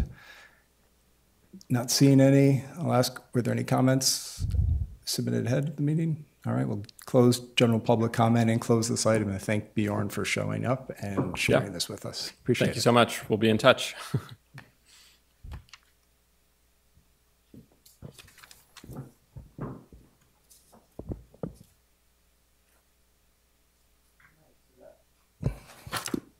That brings us to agenda item five. Uh, Chair, I think that we talked about resuming the schedule or the agenda as originally proposed. So it would, I think that would actually put item number two, presentation by Ally, uh, next, if that's, if I'm understanding that correctly. It probably makes more sense. That wasn't what was in my mind, but we'll go with that. It's your meeting, so. Yeah.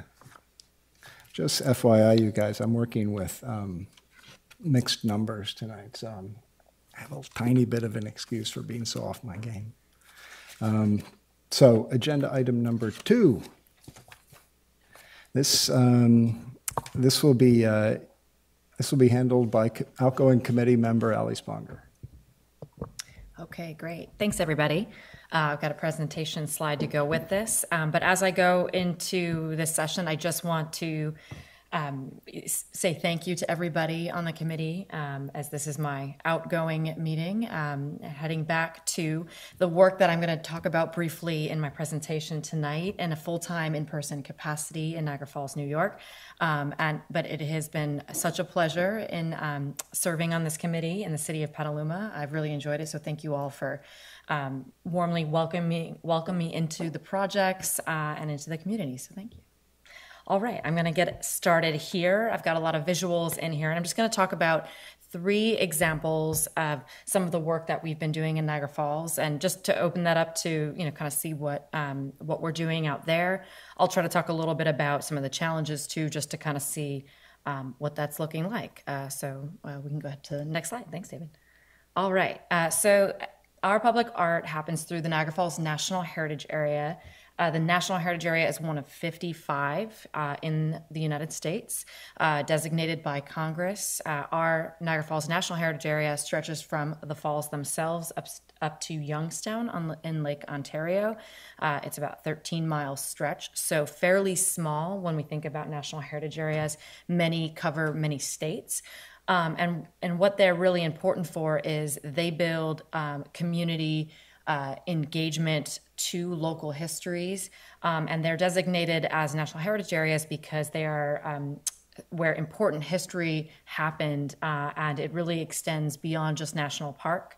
Uh, sites, uh, and it is through the National Park Service as well. And so, what we do in the Niagara Falls National Heritage Area, we have a, a big focus on a public art. We created our our really our core public art program in 2019 um, before the pandemic hit. So we kind of really took off uh, full full speed ahead, and then had to kind of go a little bit slower as that happened.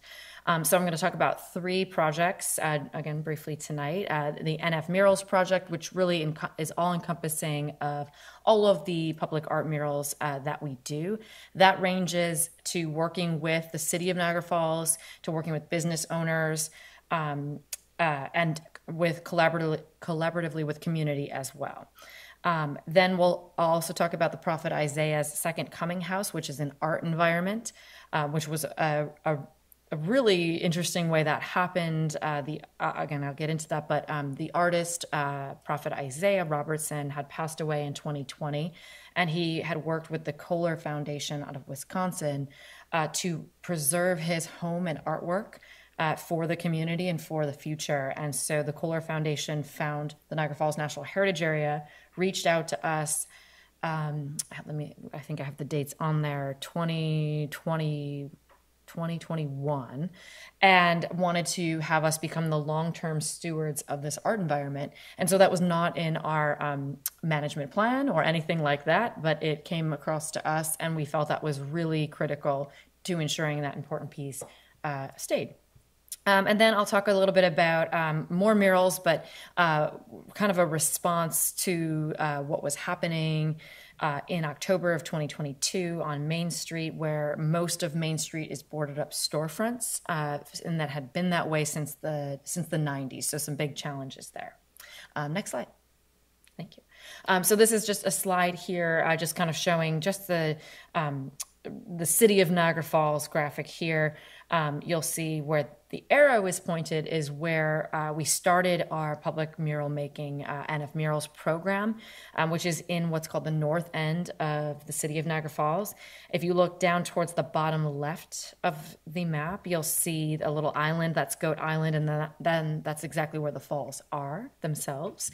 Um, and so that's about a little over a mile uh, away, but it is quite different. Uh, the downtown of Niagara Falls is really built around tourism, uh, so you'd get get a lot of tourism amenities, you know, hotels, chain restaurants, things like that. Um, most of the historic fabric of downtown Niagara Falls was lost to urban renewal in the 1960s. Um, and so it's kind of been built back up, um, but in a different way. Uh, so we've lost a lot of history in that area. Uh, where the arrow is in the north end here, and that is relevant too, of course, for the Main Street area with boarded up storefronts that I'll talk about um, that whole area too actually does have some historic fabric left in those buildings. Um, there's also, of course, a lot of empty lots too, and so we are, a lot of our work is to engage our community in what they want to see for a future. Um, as for you know, decades uh, they've it's been neglected for any sort of progress, whether that be you know building new buildings, um, reusing the old ones for something new, or just any sort of community kind of investment there. So we're, we're really looking at public art as a way to engage our community.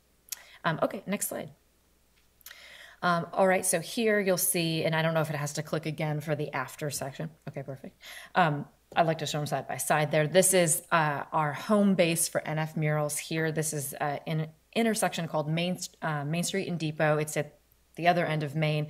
And so when I talk about that long stretch of storefronts, that's just to the south, which is to the right in the picture here. Um, but when we started uh, in 2019, it looked like the before picture that you see above. And I know I have before and after. Before is also on a very gloomy winter day, so it adds to the woo. Um, and then after, it's a nice sunny summer day. Um, but that's just how it ended up looking. Uh, so with that, um, those walls there and many other parts of the city are there's a lot of opportunity a lot of space to be able to bring community stories. Um, you know being a much older city minus some of the buildings that have been torn down we have a lot of taller buildings. So murals felt really natural for us as a starting place.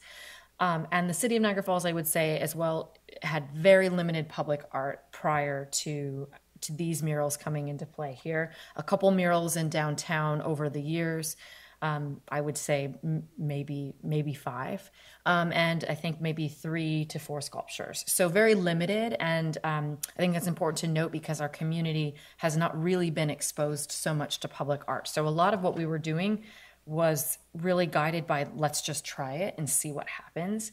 Um, but we wanted to really ensure community engagement at the forefront. And so, how we did these murals here was really try to create the most inclusive process that we could think of.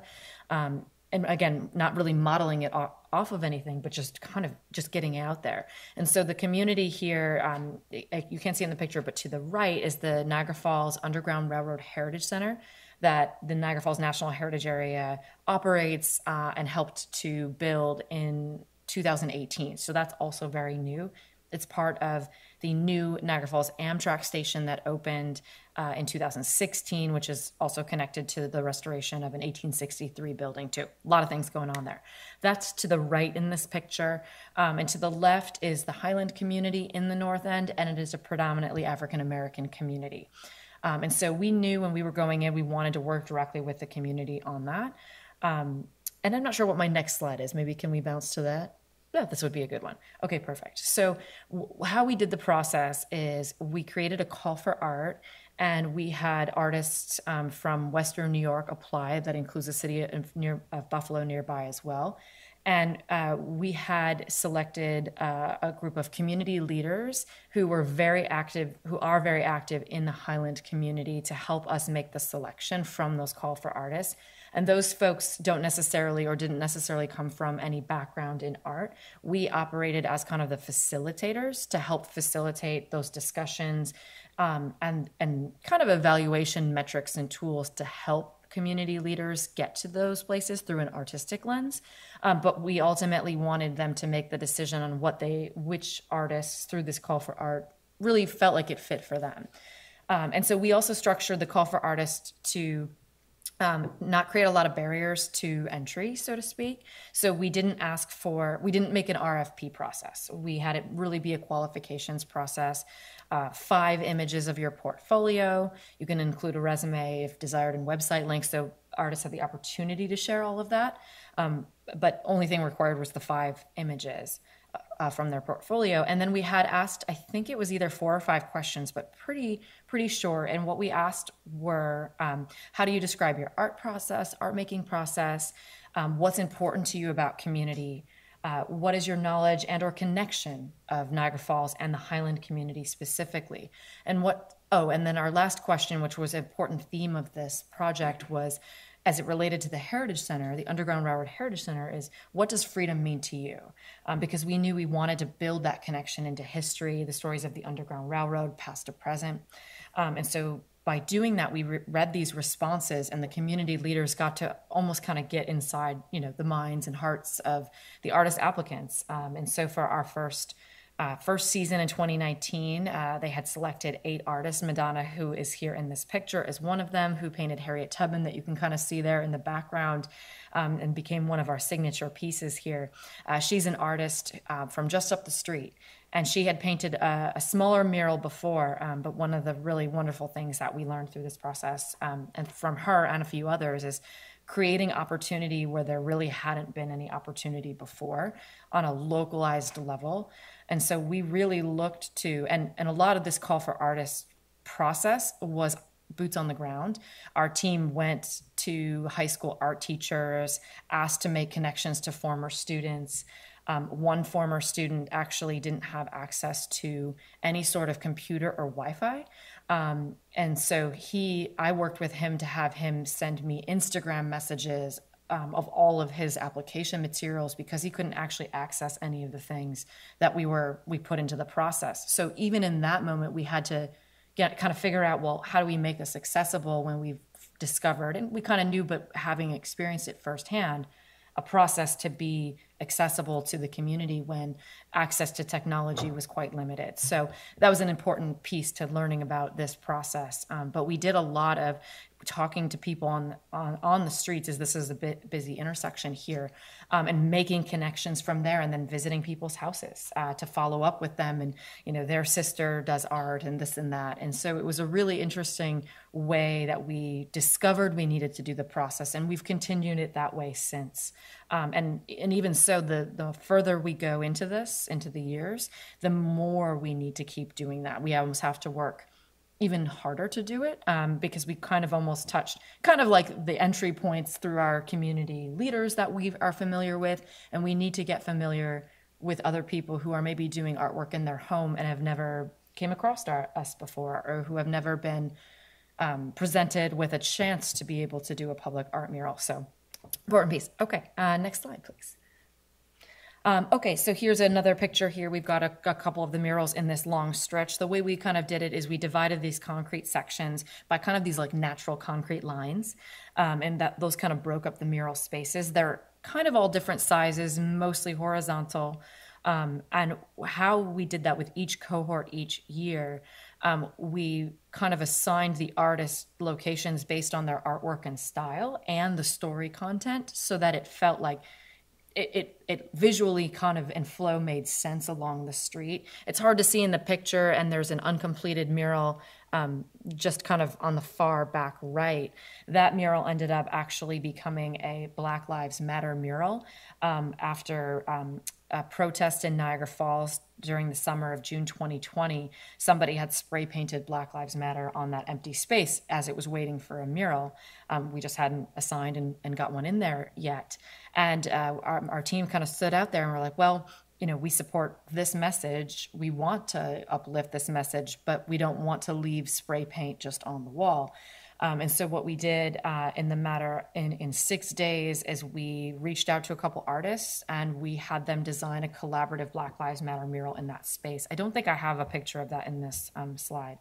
Uh, deck here, but uh, it came together in su- such a short period of time, and I think that was our most interactive mural uh, to date, with people coming by and participating on the spot. Um, and so we saw that in real time that that was a really, really important piece of these of these murals and, and for our community to be able to have that opportunity for that to be in their in their space that they walk bike and drive by every day um, and then my caption here creating opportunities for dialogue uh, this is a great group conversation that was going on when this picture was taken um, but we do a lot of tours in this corridor here um, for public art and our theme being around freedom um, and listening directly to what our community, the Highland community, was looking for, you know, beyond the Underground Railroad or what those connections were.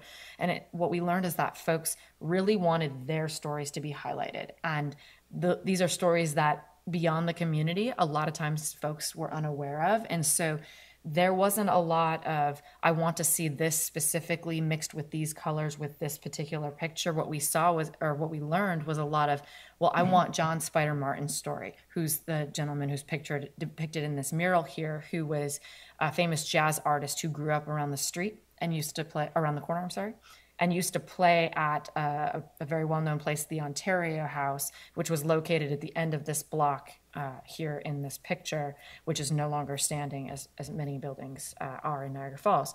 And so we heard that people just wanted to see their stories highlighted in a large visible public way. And so we listened directly to that, and those are the stories that we put forward.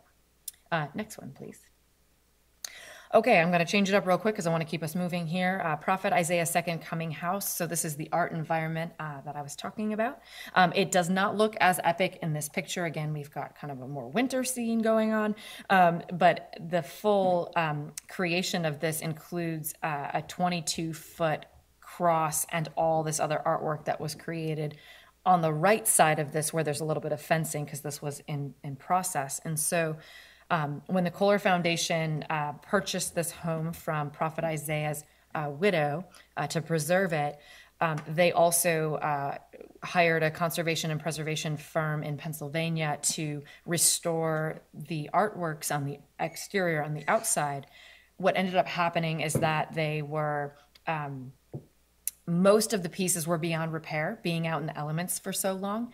And when Prophet Isaiah was alive, he was constantly repainting, maintaining, fixing to a level that I don't think could be replicated unless we were the artist himself. And so what the the firm had recommended to Kohler Foundation and to us, and we were involved in the process that whole way, um, was to um, build recreated pieces. And so we kind of found a, a balance between a few original pieces coming back and then these recreated pieces so that it can withstand the elements for you know many many decades to come and the original pieces that we weren't bringing back would go to the kohler foundation kohler foundation's john michael kohler art center in wisconsin that opened last year um, and that would be displayed with other artists folk artists like prophet isaiah uh, next slide please Oh, here we go. I did have pictures. Okay, so here is, sorry, I talked about all that before showing pictures. Here is the um, ver- versions of the 20 foot, 22 foot cross and what it looks like or what it looked like um, at one point uh, from the exterior. It's a residential home right in a neighborhood.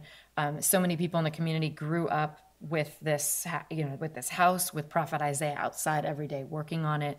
Um, and he also did the inside too that you can see in that one picture there as well. And so we have been embarking on a new journey of you know restoring managing and operating a um, art environment. And what does that look like? And so the one of the most important things just like all of our public art projects that we've been working on is that we wanted to make this um, for the community first and foremost. So there's a lot of um, art museums who are very interested in you know in, in this project in some way. Um, and it could very easily become kind of closed off um, to the community. And we decided through our planning of the management to make it community centric first. And we wanted to, we still, we're working on now is identifying what do what does the community need a space like this for and it's small on the inside of the house but there's a big backyard space and so while we're preserving the artwork and and maintaining it for years to come we also want to be able to create it as a place again for the neighborhood uh, the, the local community to use it and have it take ownership over it as their space first and foremost. Okay next slide please um, a couple in progress pictures. Um, I'm in there uh, with my team members, Sarah and Saladin. Saladin has been uh, our main on site uh, manager throughout the whole construction process. In the uh, picture on the right, you can kind of see it's a little, there's, it's a little in rough shape, and that was before we started the whole outdoor renovation and construction. Um, we've put up uh, all new fencing, repaired the garage in the back, um, fixed siding, windows. Um, and we're now moving on the interior renovations again to make it a, space uh, usable by the public and for, for limited tours as well. Um, and so uh, it was in need of a full, you know, a full renovation in a lot of ways, minus the artwork, which is, you know, again preserved. And on the inside, it's pretty pretty great. Uh, not doesn't need a lot of work, mostly just the outside. Um, so that's a picture there of just kind of what that looked like and the journey that we're embarking on on that. Uh, next slide, please. Okay, moving next project, keeping us moving along here as well. Um, and so this project here, our we're kind of calling it our History Lives Here project, a Main Street number two project. Lots of things happen on Main Street. Um, this building here um, is called 2018 Main Street. That's its address. And uh, this building was in danger of demolition uh, starting in October. And there um, lots of challenges between the city and the property owner. And again, these buildings have all all in a long row um, have sat vacant since the 90s. Uh, I think this one was one of the last ones to close. It was a furniture store in like about, I think it was like 1995, and it was one of the last ones to stay open. And so there's a few residential apartments, uh, a couple things that have continued on on this uh, long strip on Main Street, but not not many. So what we really responding to the the threat of demolition, which is not completely off the table just yet either. Um, we really wanted to bring awareness to not losing any more historical fabric without you know, without coming to a solution, and without talking to the community first and foremost, um, many of the community members and, and, and, folks who live nearby, I have been really frustrated um, because for decades this has been their main street where they haven't had access to grocery stores, to businesses, and, and uh, those necessities in life. They have to go beyond their own neighborhood. And many folks don't have the easy, accessible transportation to be able to do that. And, and so we really look at this like, you know, what can public art do? What can community engagement do to be able to open up the conversation and the dialogue around these really, really big challenges that take a lot of funding, a lot of cooperation, and a lot of momentum to be able to move forward. So we started with this concept here um, and again created you know, sometimes we work really fast and we created this in three days um, after hearing first the threat of the demolition with uh, permission from the property owner here um, very long complex process but um, we created history lives here to signify that past to present piece of you know history is is still alive. It's still within these walls. It's still within these streets within the people here. And we wanted to bring awareness and attention to that. And so this was again another project where people passing by picked up a paintbrush jumped right in and it really created a again an uplifting experience but also one where people could almost speak for the first time about to somebody, you know, about what's going on. And again, while we're a nonprofit and we have limitations on what we can do, is we don't own this building, uh, nor are we the city. Um, you know, I think being able to open up those dialogues to create that ownership and empowerment to start to move move the needle a little bit on some of that. Uh, next slide, please. Okay, so yep, here's a picture of um, uh, some folks painting um, on that on the History Lives Here mural. And the photo on the left is actually a little bit further down. I, I didn't include the same building here, but this one here, so the, the two buildings in the picture on the left are no longer standing. Uh, the building on, in the right middle is, and it's the Connection Building, which is a teen center, incredible uh, program. Um, and then the Jenss Building department store, which was very well known. Anytime we talk to anybody in the community, they're like, "Oh, I remember Jenss riding that golden elevator up and to the fo- to the third floor, and this and that." And so it's we're also in a process of capturing stories. So we have an oral history project that's a part of this because we know that that is also key to uh, bringing bringing this objective and goals here forward. Well, what's next for that Jenss building um, is we have there is a mural on the front that says "Imagine the possibilities." What's next for that is we're actually going to be installing um, in all of the many windows, which I don't remember the number off the top of my head, but lots of windows. Um, banners on the inside that show that there are um, prints of some a local artist painting of portrait the portrait ladies they're called. And she had painted from the 1930s to the 1990s and her work goes mostly unknown. Uh, her name her name was polly king. Uh, and her son who's 92 has been keeping her legacy alive and pushing and pushing for gallery representation and to get her artwork out there as much as possible. Uh, i don't think i included any of her artwork here. I'm just seeing things and kind of giving a little bit more info. Um, but we're bringing awareness we're looking to bring awareness to the building and the stories at the same time. And so by also then using the windows as well as a way to display her artwork and bring awareness to that. And we're going to pair that with um, an exhibition of those original pieces in a building up the street from here. Again, looking at activating Main Street, creating opportunities for, for folks to get involved. Next slide. And I think we're almost done. I think that was the video. Oh, okay, perfect. Um, you can go to the next one, David. That's fine. Okay, and this is another this is another one of the um, plywood storefront murals that we did here. Um, we are the community. Oh, and then the other one is up in the picture on the left up there. And there's those are some kids that came by uh, and started to paint. Managing kids painting on the spot takes a little bit of work. Uh, we're we're working on formalizing that process a little bit more after that.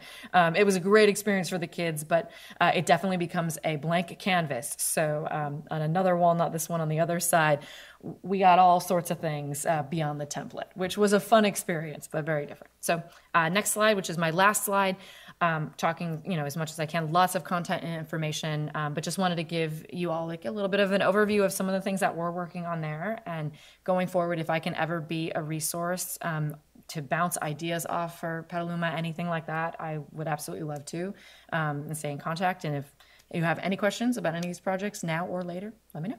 Thank you. Fabulous. Thank you. Yeah, so um, spoke with Ally when she got on the committee and heard about some of this and looked into some of it. And this is just so much more. I mean, now a little bit of time has passed, but the, the, the volume of work and the breadth of things you have your, that you're plugged into is really inspiring. So I wish you were here longer and more of it would rub off on us. We'd be able to learn from it. Um, but uh, which um, we do have uh, an opportunity for the public to comment. Um, there's no one here. If uh, did you receive anything ahead of time?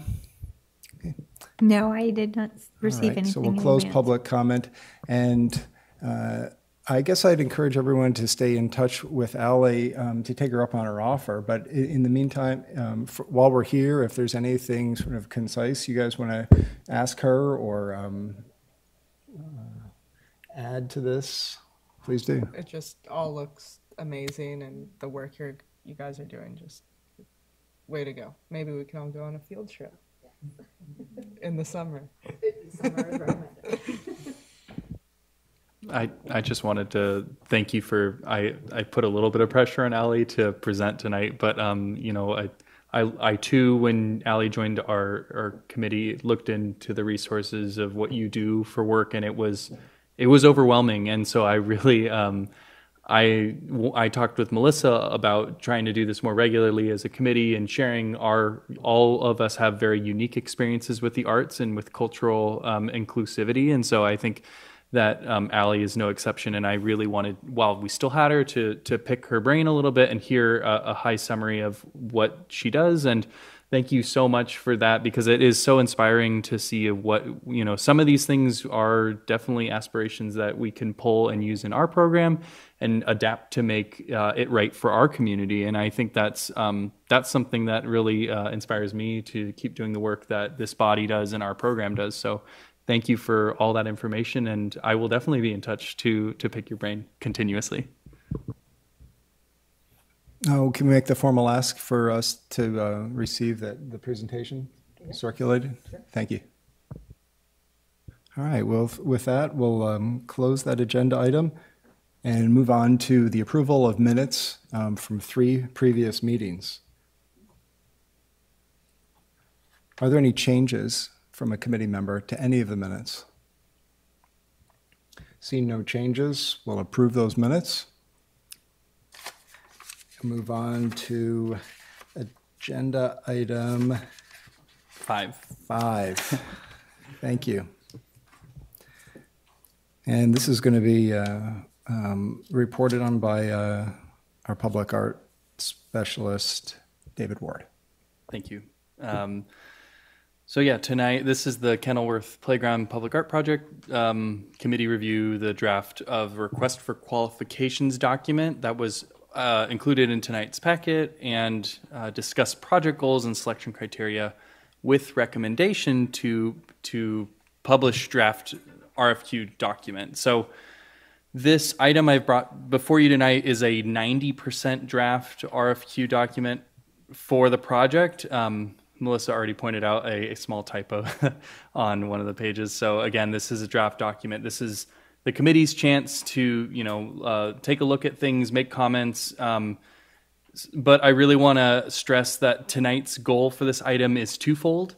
So the first is that we ask the committee to generate clear, concise project goals that support the vision and mission of the public art program in this project and also underscore the role that this contracted artist will fill and how they represent the interests of this body and the overall ideal qualified candidate of this project. So these goals that we, we talk about tonight will be used in the RFQ uh, for applicants to respond to, and in turn, the committee will score their applications using these same goals and selection criteria. And then the second part of this item is uh, the second goal, I should say, is the, the committee to provide final feedback um, about this document as a whole, including recommendations for maybe additional networks where staff can share this opportunity to draw a larger number of applications. Melissa provided some comments um, as well, and um, I will uh, incorporate those into the document. So, um, so those are the two the two pieces of this. But if both goals are achieved tonight, staff recommends publishing this opportunity on May Monday, May first, which is next Monday, um, to keep in line with the park project's timeline. And before we get into the discussion, I wanted to make a few notes about what those next steps look like. So, if published on May 1st, the opportunity will be open for six weeks of applications, closing on June 9th. The committee will then have uh, about a week and a half to rank eligible applications um, after staff filters through them. And we will use SlideRoom to do that, um, to virtually and anonymously do that uh, as a body. And then at the June Public Art Committee meeting on the 22nd, uh, staff will present these results and recommend the committee select an artist to offer this awarded contract to. And um, we plan to get in contract with an artist in the next few weeks following that so that the artist can jump right in and join the park designer team.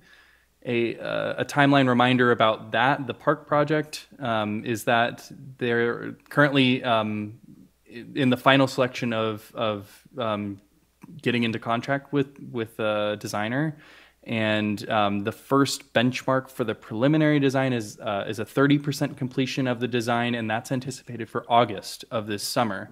So we should be looking for that for our artist representative or, or team. I, I'm using the word artist kind of to as a catch-all to get into contract and have some time to pull up a chair and start working with the design team about ideas and um, and how they see public art and play spaces, um, you know, all those concepts, um, you know, right away. So, so if those two objectives in tonight's item are clear, I'll turn it back over to our vice chair.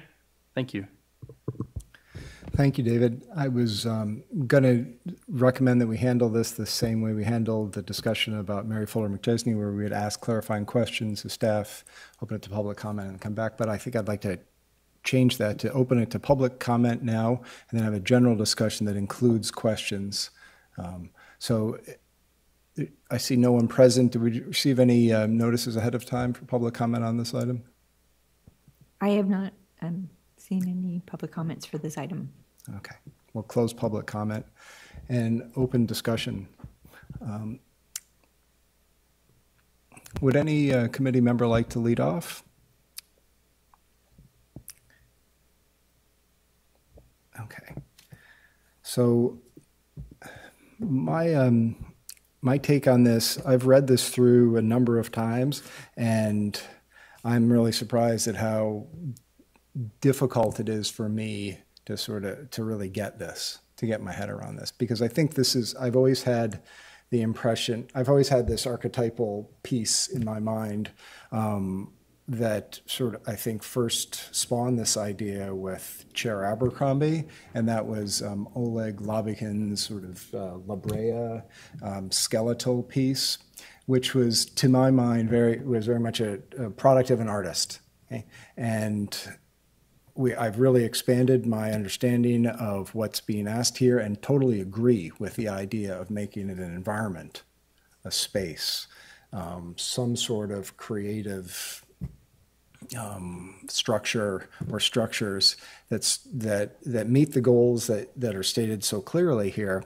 Um, but the conclusion I've come to is that the requirements that are being asked of these applicants pretty much take it out of the realm of artist and put it in the designer realm or the architect realm or the some sort of professionally connected on the ability to execute public projects realm.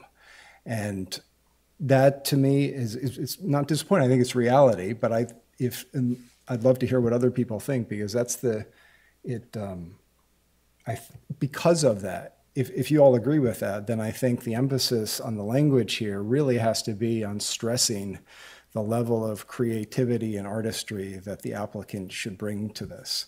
I think it goes without saying if an artist's involved, that's going to happen. But there's um, so much about this. We're talking about designers, call them artists, sort of under the, you know, under the collective uh, single word sort of category categorization. Um, creative teams, landscape architects, architects, um, but that's um, so that's the first part of it for me, and the second part of it is now that I'm um, there's I guess I'd like staff to, to explain to us what it is that we will be, it's listed what we will be seeing, but how do you, um, when the request for qualification is answered, the applicants will supply something very much, you know, that it's going to be, these are going to be high level designers, I think, that will be applying. And to what extent do you think we should, um,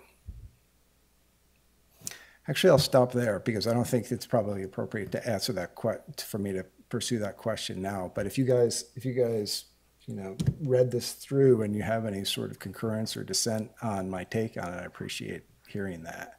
Um, and then everything else, let's talk about it. Do you mind if I respond first?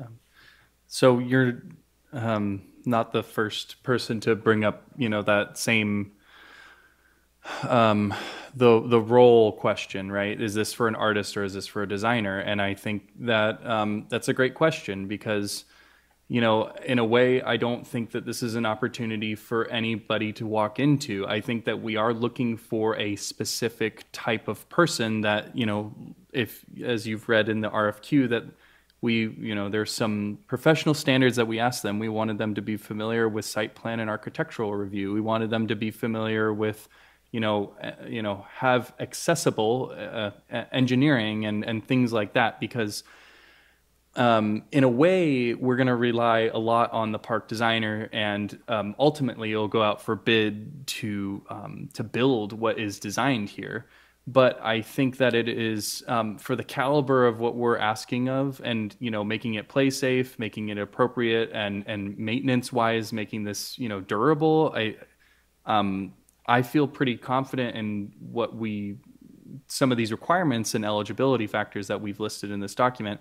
And I think that there can be we can underscore some language here that you know really speaks to the artistry that we're looking for here. And we do really want people in my interpretation of this conversation we've had over the last year plus is that we really want someone to come to the table and dream big and be able to take those that big vision and then turn it into a reality and not make too many compromises about what the initial idea was. And then after you plug it into all the ADA requirements, safety requirements, play safe materials, it doesn't get turned into this compromise, right? And so um, I think there are there is a, a, creative way that we can make this document more appealing to artists, but I do think that you know um, to get something to the level of what we've discussed, it's, it, you know, I'm, I'm happy to look at the selection criteria a little bit more, but, um, you know, I, I, I'm feeling pretty confident in some of the base level requirements. Looking left and right at other projects, it's hard to find other public art projects that really have have done what we're doing here. And I've I've looked to the committee uh, to to pitch some of those things, and I've followed up on a lot of them, including uh, a long interview with the Tunnel Tops folks. Um, but it, has been it's it's uh, we're walking on a tight rope here of like what we're what we're asking for our, from our applicants. So um, I think I'll stop rambling there. Thanks. It's really helpful. I mean, there's concurrence. I think this is uh, I I think the product of this will will yield the right person. It's just I think it, it's adjustment for me to understand really that it's that the artists in the room probably will not be able to meet the bar that's being set here. And I would like to add though that obviously we need someone to be able to cover all these ground level, you know, requirements and understandings of how things work so that they can have intelligent conversations with the site designers and the city planners. I would also say that there are probably a lot of designers who have been constrained, who are looking for this opportunity to bring artistry in. And I would also add that any artist who's interested in this job is going to outsource the calculations. They're going to bring that talent in so that their vision can be accomplished, I would think. I don't think it's a one off kind of person. Maybe that there's a visionary and there's the ancillary, you know, boots on the ground adjunct. So it'll be interesting to see who responds to this. I would just say, and I agree, I think that uh, those folks who are reviewing this and it's coming across, across their desk, across their um, uh, online presence of being able to kind of see that, I think that that collaborative approach, like an artist team or an artist that can, you know, be able to, you know, understand like, okay, those are, I don't have that skill set, but I've done this work here, so I can bring that in and, and bring that all together. So I, I think it, it will be, we'll need to be able to see that when the applications come through. Um, and once that comes through, it's, it's a little bit easier maybe to identify those particular pieces, and we'll definitely want to make sure we're on the lookout for that. Um, but you know, I think I, I could see it really happening again, where that that visionary is able to put those pieces together, uh, especially if they have that experience. I, have a question for the committee. Um, would we like to see in the final published document uh, a reorganization of some of these qualities that we're looking for in terms of eligibility? I, I guess is what I'm driving at.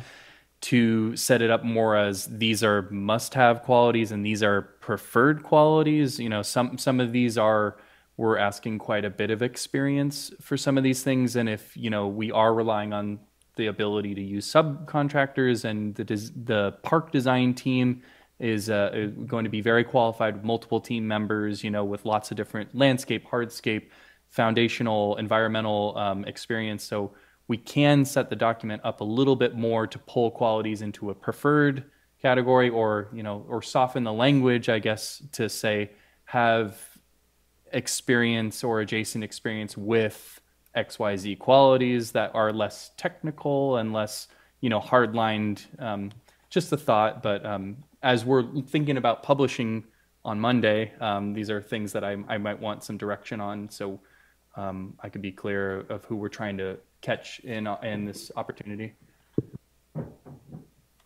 I don't think you need to soft pedal the requirements. I think you've done a great job of saying, of laying it out there, what needs to happen. So I, let's be clear about that. I think all, honestly, we're going to be judging portfolios, really, and we're going to, and the way they described their portfolios, what their role was in it, and being able to judge whether or not they can handle it, whether we love the work, and whether we can imagine something um, from them in this community.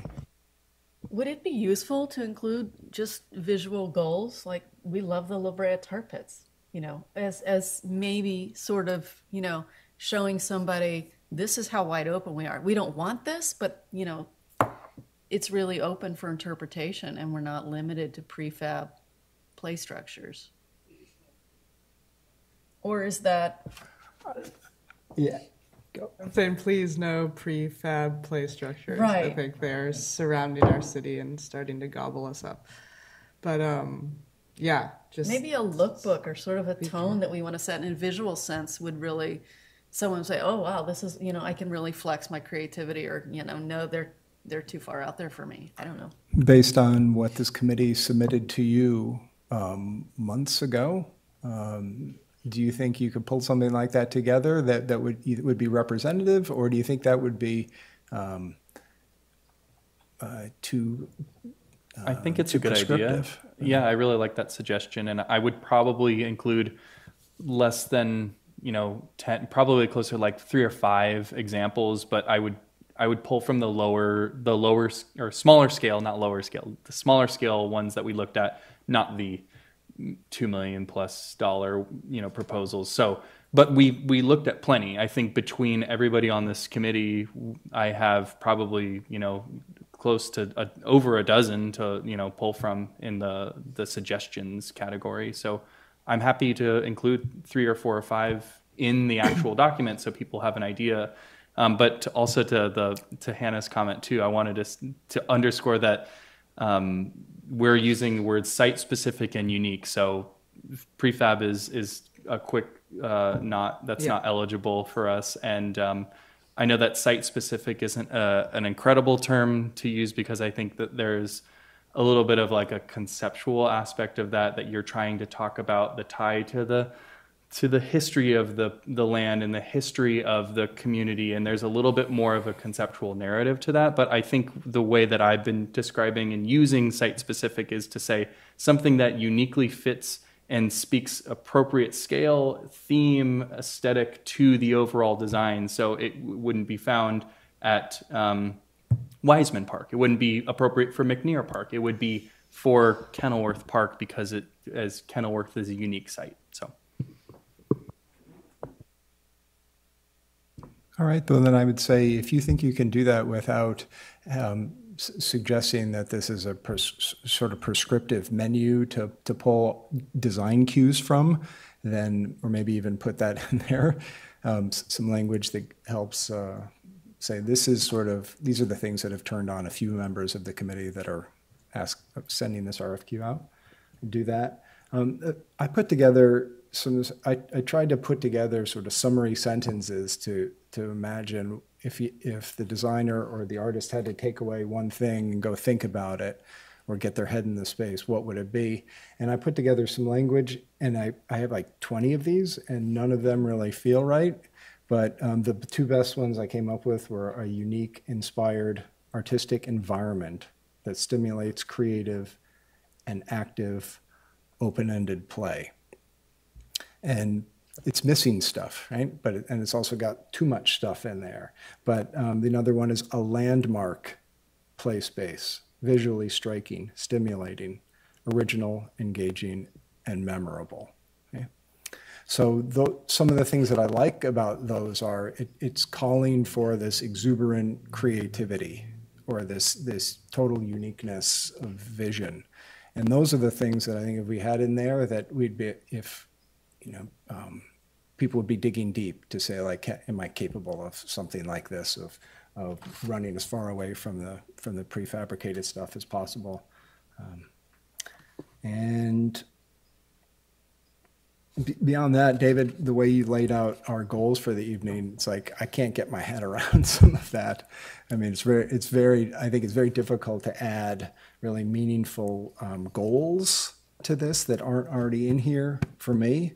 So I'd, I'd like to hear from the rest of the committee um, if there are things that, that they'd like to add to what's already in.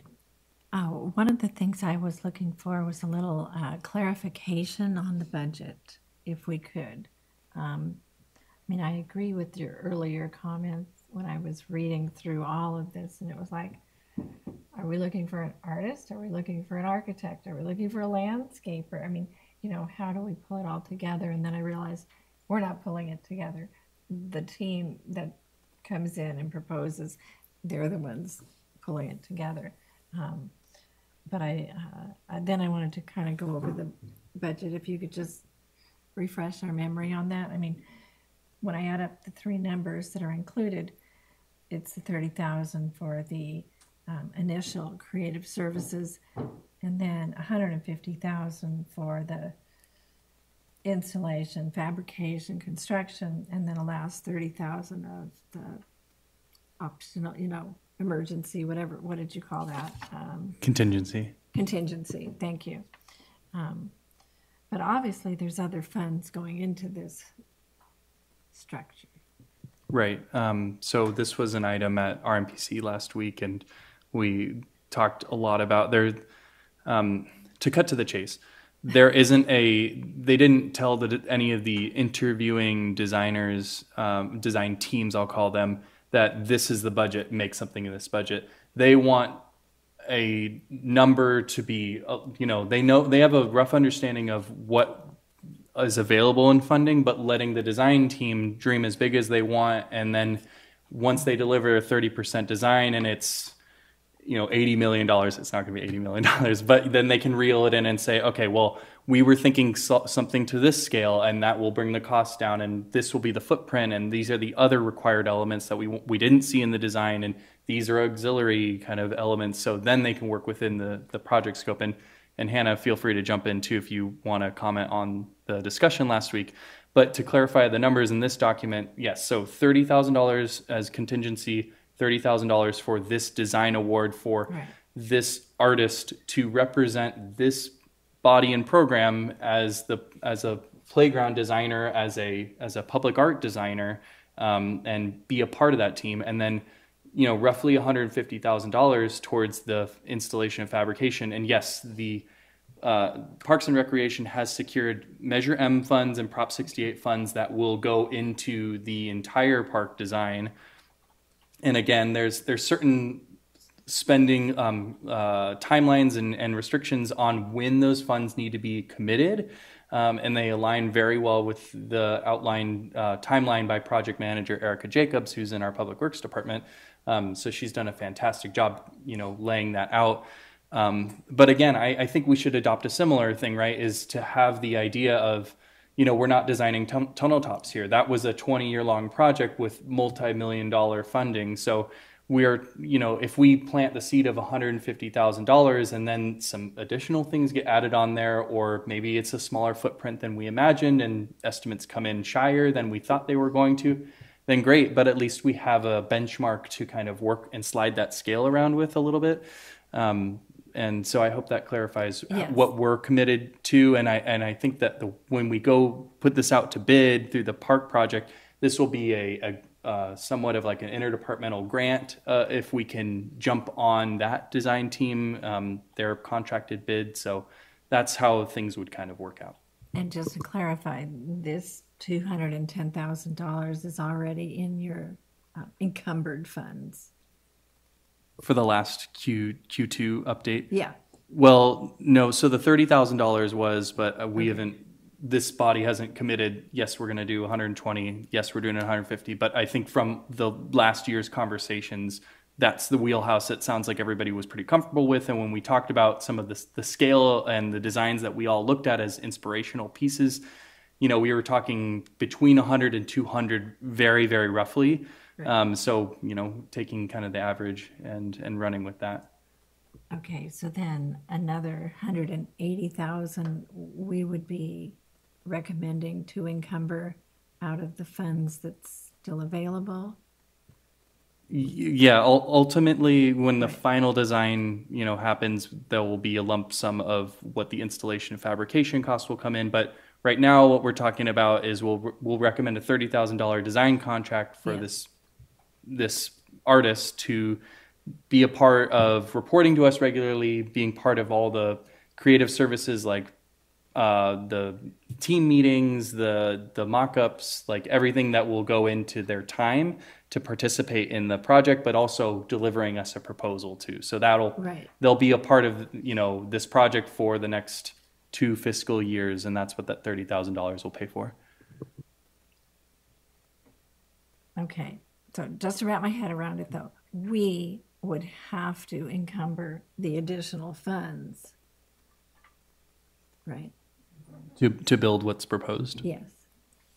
It's yeah. So the I think that this this body is. I mean, as if I'm understanding things correctly, is that there will be whatever is designed for the space. There will be additional contributions from the public art fund to help build that, and it will be significantly reduced because they will be doing grading for the site. There will be a you know there will be hardscape features that this fund won't we won't have to pay for from the Right. public art fund. Right. So there will be huge reductions in you know excavation costs and for foundational purposes for whatever structures are built. Um, so it'll it'll become at a at a discounted price, so to say. Yeah, and from Parks and Rec, it, everything still seems like very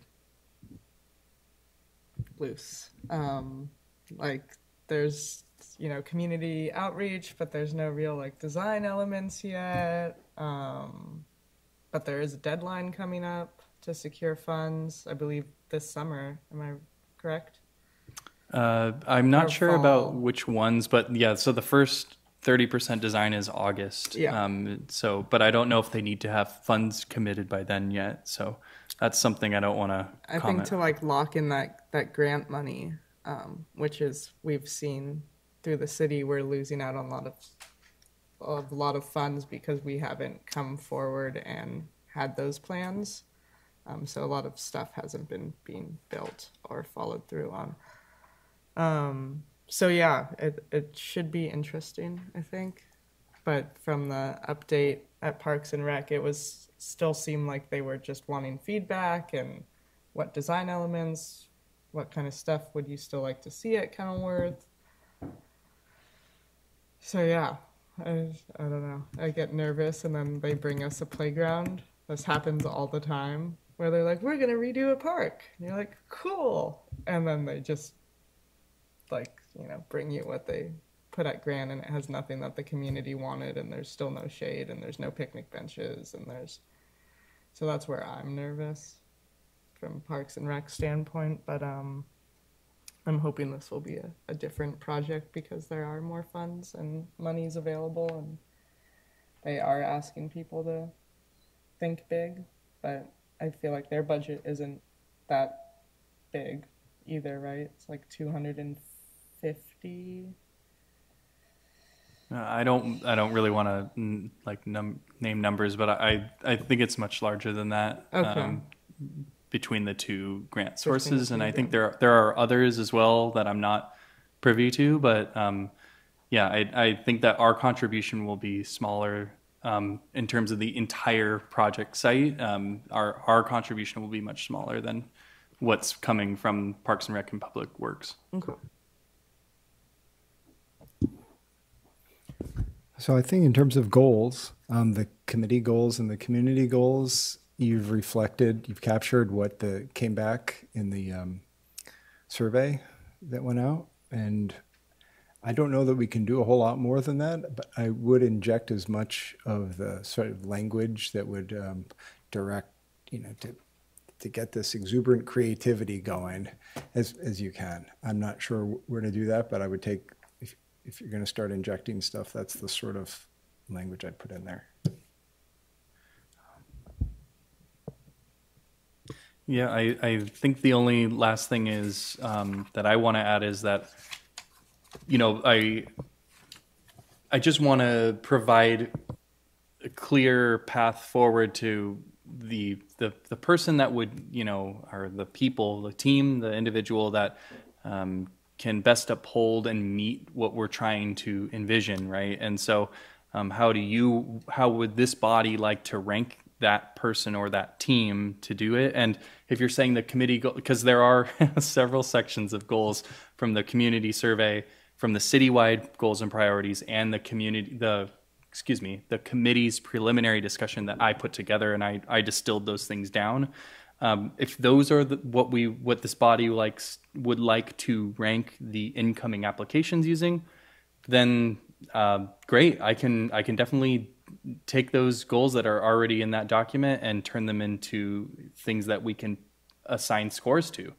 Um, I, you know, I, I guess the ask to make project goals was an opportunity to describe your ideal candidate and really talk about the qualities that you would love to see, whether they be just, um, you know, use use the words exuberant creativity and landscape or landmark space for play and creativity. Like those are great. I, I think those are great things that you can judge uh, a letter of intent and say this was a seven out of ten or this was a this was a, a twelve out of twenty or something. You, I think you could do a lot with that. So I was I was giving this body an opportunity to to write that you know write that rubric, I guess.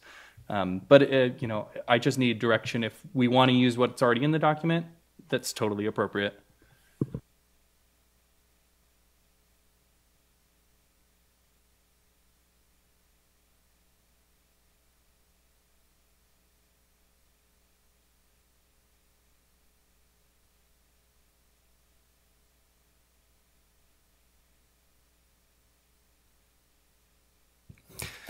I don't think I can add anything, um, and it doesn't sound like the rest of the committee um, is in a position to add. So, um, particularly given the the sh- short timeline, you're going to draft this straight away and, and publish it. So, um, I would say um, move ahead with it. Okay? All right. And thank you for the work you've put into this. It's super comprehensive. Well, and I, I admit that this is a little out of my wheelhouse. We've, we've never built a playground before, so it is a little unique. But um, you know, a lot of research and a lot of talking and, and following up on on the leads that this committee has provided has been really enlightening. So I appreciate everybody's work on this too. I'm I'm just the aggr- I'm just the aggregator of pooling everything that we've talked about over the last year. So um, so thank you. So does this need formal action?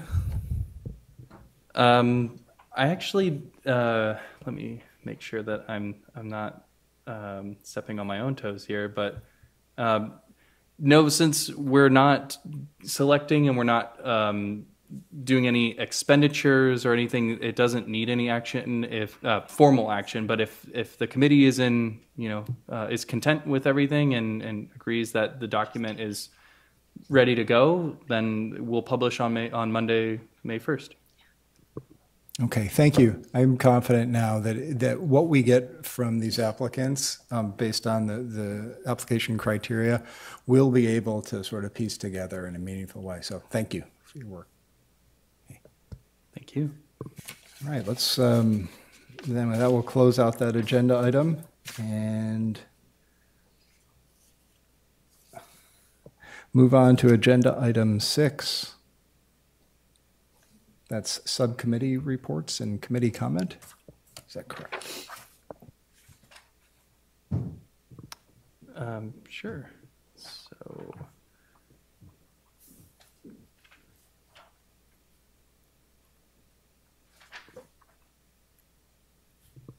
I know the um, the fine balance committee subcommittee hasn't met recently. I, I'm happy to to talk about that project a little bit more, i- unless Christopher, you had any um, notes about the um, fine about fine balance.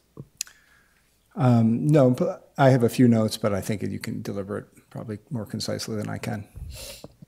Sure. Um, I think the quick snapshot of where we're at right now is that uh, we had a meeting uh, where I met with uh, Jerome, who is our chief building official, and we met with um, Chris Lynch and uh, our, our vice chair, Chris, uh, Christopher Smith, was there, and we just talked about some of the outstanding uh, things that are required uh, that was in the feedback in the uh, the building permit application. That was tough. Um, and they're mainly on two larger features, which one was addressing ADA concerns about access to the park, um, and then the other element was uh, lighting. And so, um, from a few discussions, I won't get into the weeds in it, but it sounds like we have a pretty clear understanding of how to meet those requirements um, very easily without changing or compromising any of the elements in the project. And so, uh, artist Brian Goggin is on track to resubmitting the project. And then um, I don't think actually Christopher knows this, but I, I have a meeting next week with the Public Works team as well to talk about um, some of the elements that Brian um, requires uh, to clean up the site, to get the site prepped. Um, so it'll be some city uh, support there, and they're they're fairly minor things. So we're not, you know, now that we've sorted out the electrical and we don't need to dig a trench and route conduit down there anymore. It's a solar option now.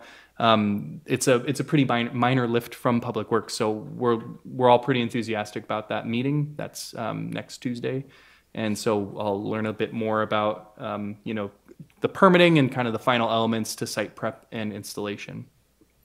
Thank you. So would this qualify as staff comment at this point, project updates?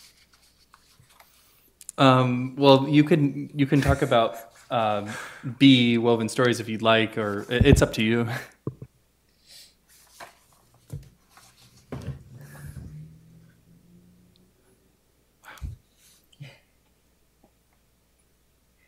I really set up Christopher for failure today with the wrong numbers. I'm very sorry.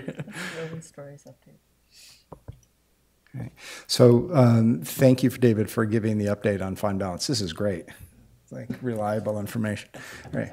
So uh, be- because I would have, I, I wasn't privy to the, the meeting with, with Public Works, and I was going to say my one my one observation in this is that um, this is happening. Fine balance is happening in a public park, and we've really heard nothing from parks on this. And we just, I, I thought it was critical when the artist found that he needed something, assurance that the, the, the surface of the park was going to be dealt with, that uh, someone could step in and do that. And it's great to hear that Public Works is doing that. So I'm really, thank you for reaching out for them, to them, and have a good meeting next week. And if you need support on that, feel free to, to ask the subcommittee. We'd be glad to show up.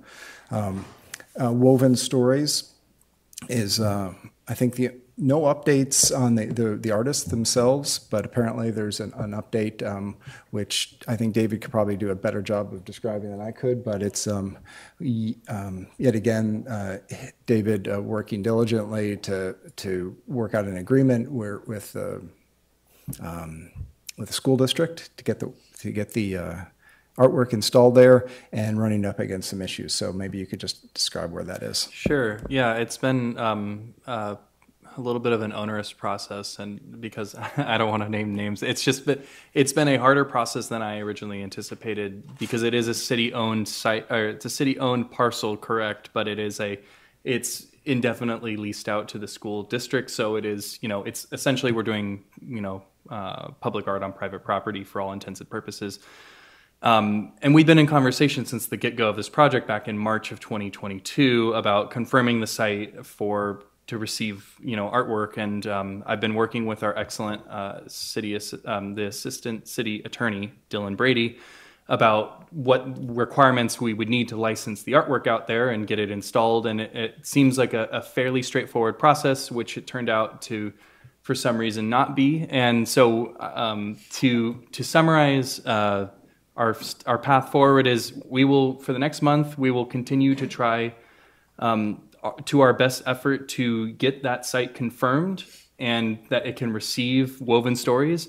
I think in the meantime that the subcommittee, I recommend the ad hoc sub- subcommittee um, work together to uh, help staff with those outreach efforts, but also we should consider a Plan B site for that as well. And if by the next meeting, uh, June 22nd, we don't have any updates about the Kenilworth Junior High site.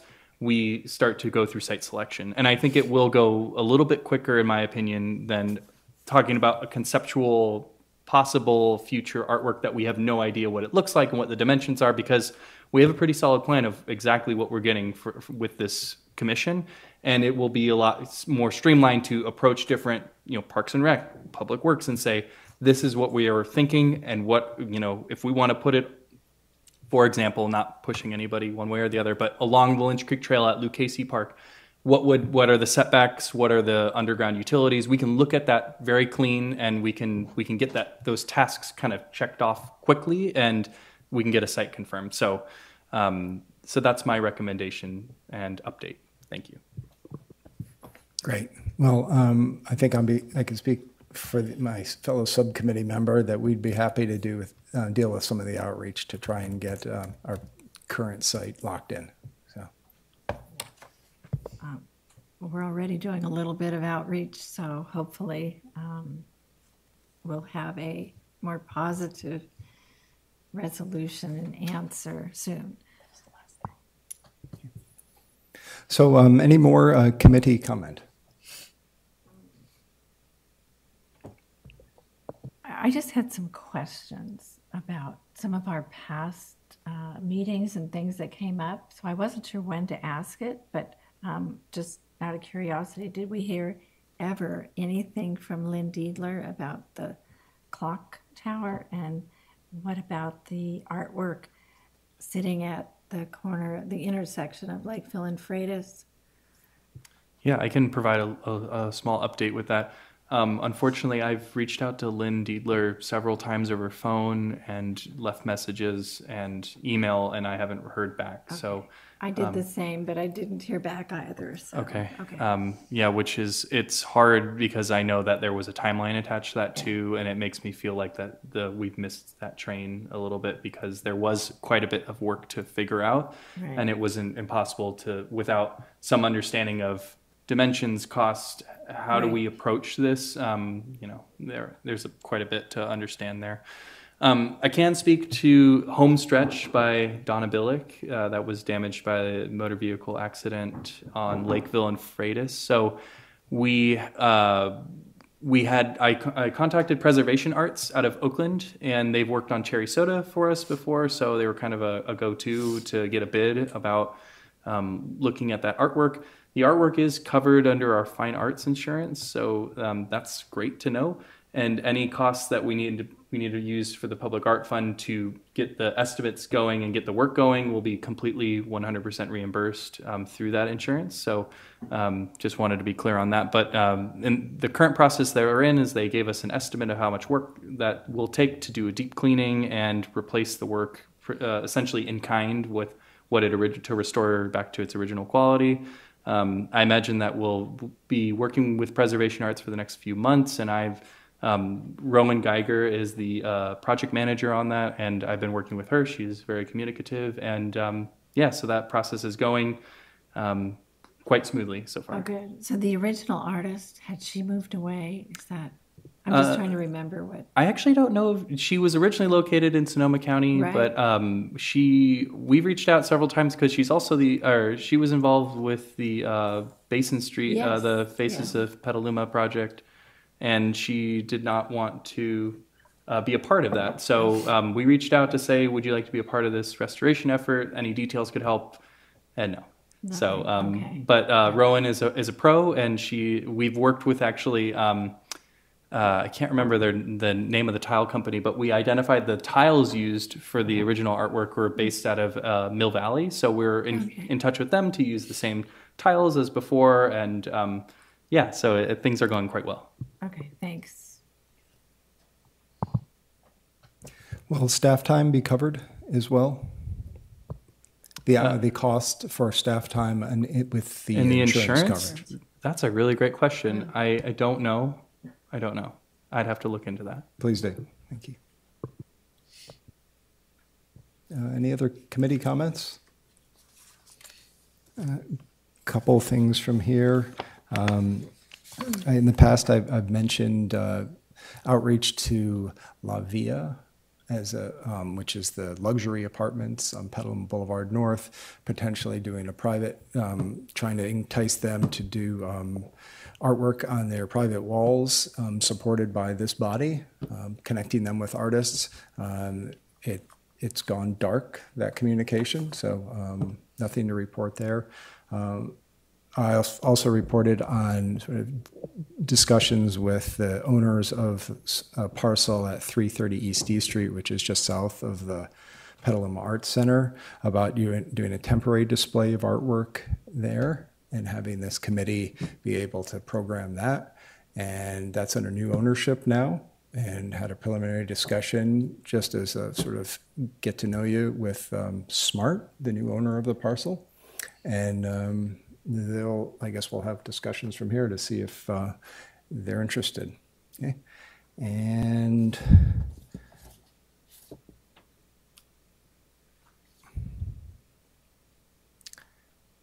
I guess the last thing I'd like to say is that there's a, a, a local artist whose work I've admired for, for a while who died recently. And he, and we never got to the point where I sort of was going to. I was going to recommend that this body acquire a piece for the for the city, and I'll still do that. Uh, but there's so much that has to happen in Bruce Johnson's family's world um, before that happens. But I want to acknowledge his passing and uh, encourage everyone who sort of has an opportunity to go see his work and understand the work he the work he did in, in and around Sonoma County to do so because it's it's just so cool and of the place. So that's it for committee comment. Oh, oh, one other thing, I just wanted to um, thank Anne and all of the work that they did. I've seen the banners up. I'm sure you guys have seen the banners up. So I think that's really cool and kudos. Uh, thank you. All right, with that, we'll close committee comment. And um, is there uh, then s- more staff comment? You want to give us a project update? Sure. I, I won't really. Um, I know it's getting a little bit late, but I, I won't. I wasn't really planning to talk about all the specific items on the project status matrix. Um, aside from that, uh, we've started to pay the artist stipends for the bus shelters murals. Um, they're $800 stipends to remind the committee to um, student artists whose designs were selected. So um, I don't have an update about the timeline for installation, but I was told spring. Um, so I think spring ends next month. So uh, I'm not holding them to that, but um, I know that it's it's in the works and um, and I know it's coming. So uh, when we do find out, I was going to invite back Rihanna Frank, who joined us to make the pitch uh, and kind of do a, a, report out, talk about you know um, successes, uh, lessons learned, that kind of thing. So. Um, so yeah, and I I'll just move right into um, item nine to, to as a kind of like joint you know joint item for staff comment. But uh, I received a uh, I received a phone call and a few communications with David Best and Sandy Reed last week. Um, and they've been in touch regarding the site plan, the, finishing the site plan for the river arch. Um, the city, as of this month, lifted the landscaping moratorium and new planting is now permitted. So I followed up with Sandy to put together a, a work plan of what labor, materials, and funding um, is required to do the work as, as um, proposed before we can ask for volunteer help or contracting services or, or asking for other resources that might be required is we need to understand what, what goes into that. And then also, um, I wasn't aware about you know the the benches, the the the arch continuation extremity pieces that you know he gifted Fragments. fragments. Thank you. I was I was reaching for that word. Um, I didn't know that David also created another bench that was uh, created for the design. I guess it's bigger than the other other fragments, and he wanted to me to relay that that the price of that uh, piece is fifteen hundred dollars to the city. So um, I just wanted to make a note of that.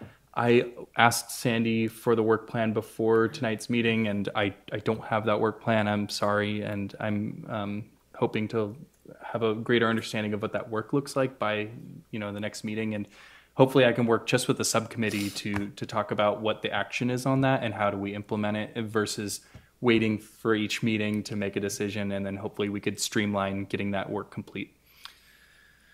Um, I also received uh, inquiry from Creative Sonoma uh, on behalf of the City of Santa Rosa, um, reaching out to the Petaluma Public Art Committee about a public artwork called Agraria by Larry Kirkland, which is uh, in front of the entrance of the Santa Rosa Mall along 4th Street in downtown Santa Rosa.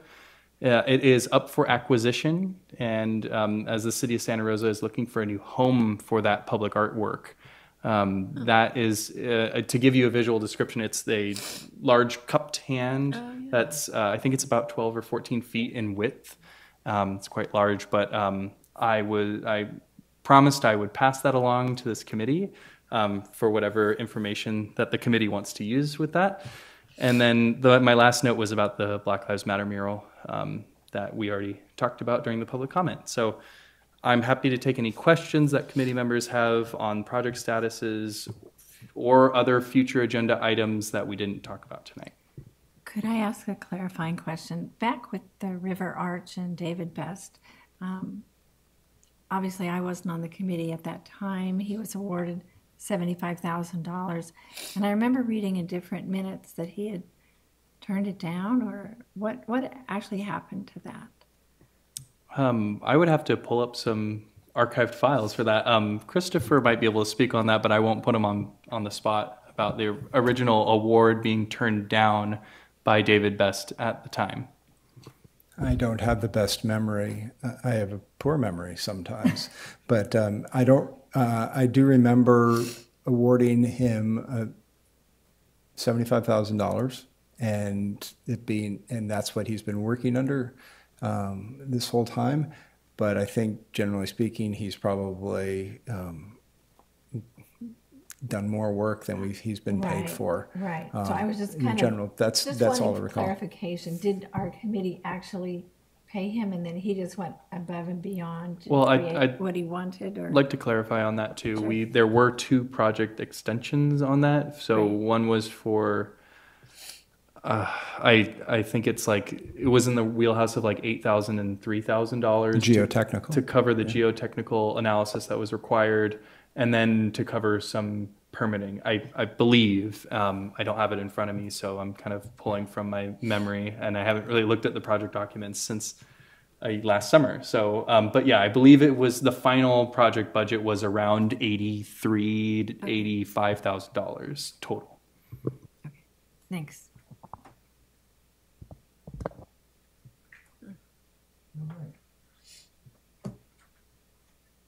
Staff comment is. Staff comment is finished then. All right, then we'll close that. Great. And with that, I'd like to thank committee member Sponger for her service and wish her well. And consider this uh, meeting adjourned at uh, 8:51. Nice, thank you. Thank you for that, Michelle. That's very nice of you. I have all my little notes. I was like, when do I bring this up? I'm so beyond that. Melissa, she's sick. or- No, she's at a wedding in Chicago or something. Hey, she often tells me, but. I know, I know, I know. Oh my God, my allergies are making me crazy. Hey, David, I have a question. Somebody asked me that the other day, and I said, well, they remembered that the committee never paid him anything, but he turned it down, and I thought, really? That's crazy. I just I thought mean, it might yeah. I'm sure he got paid.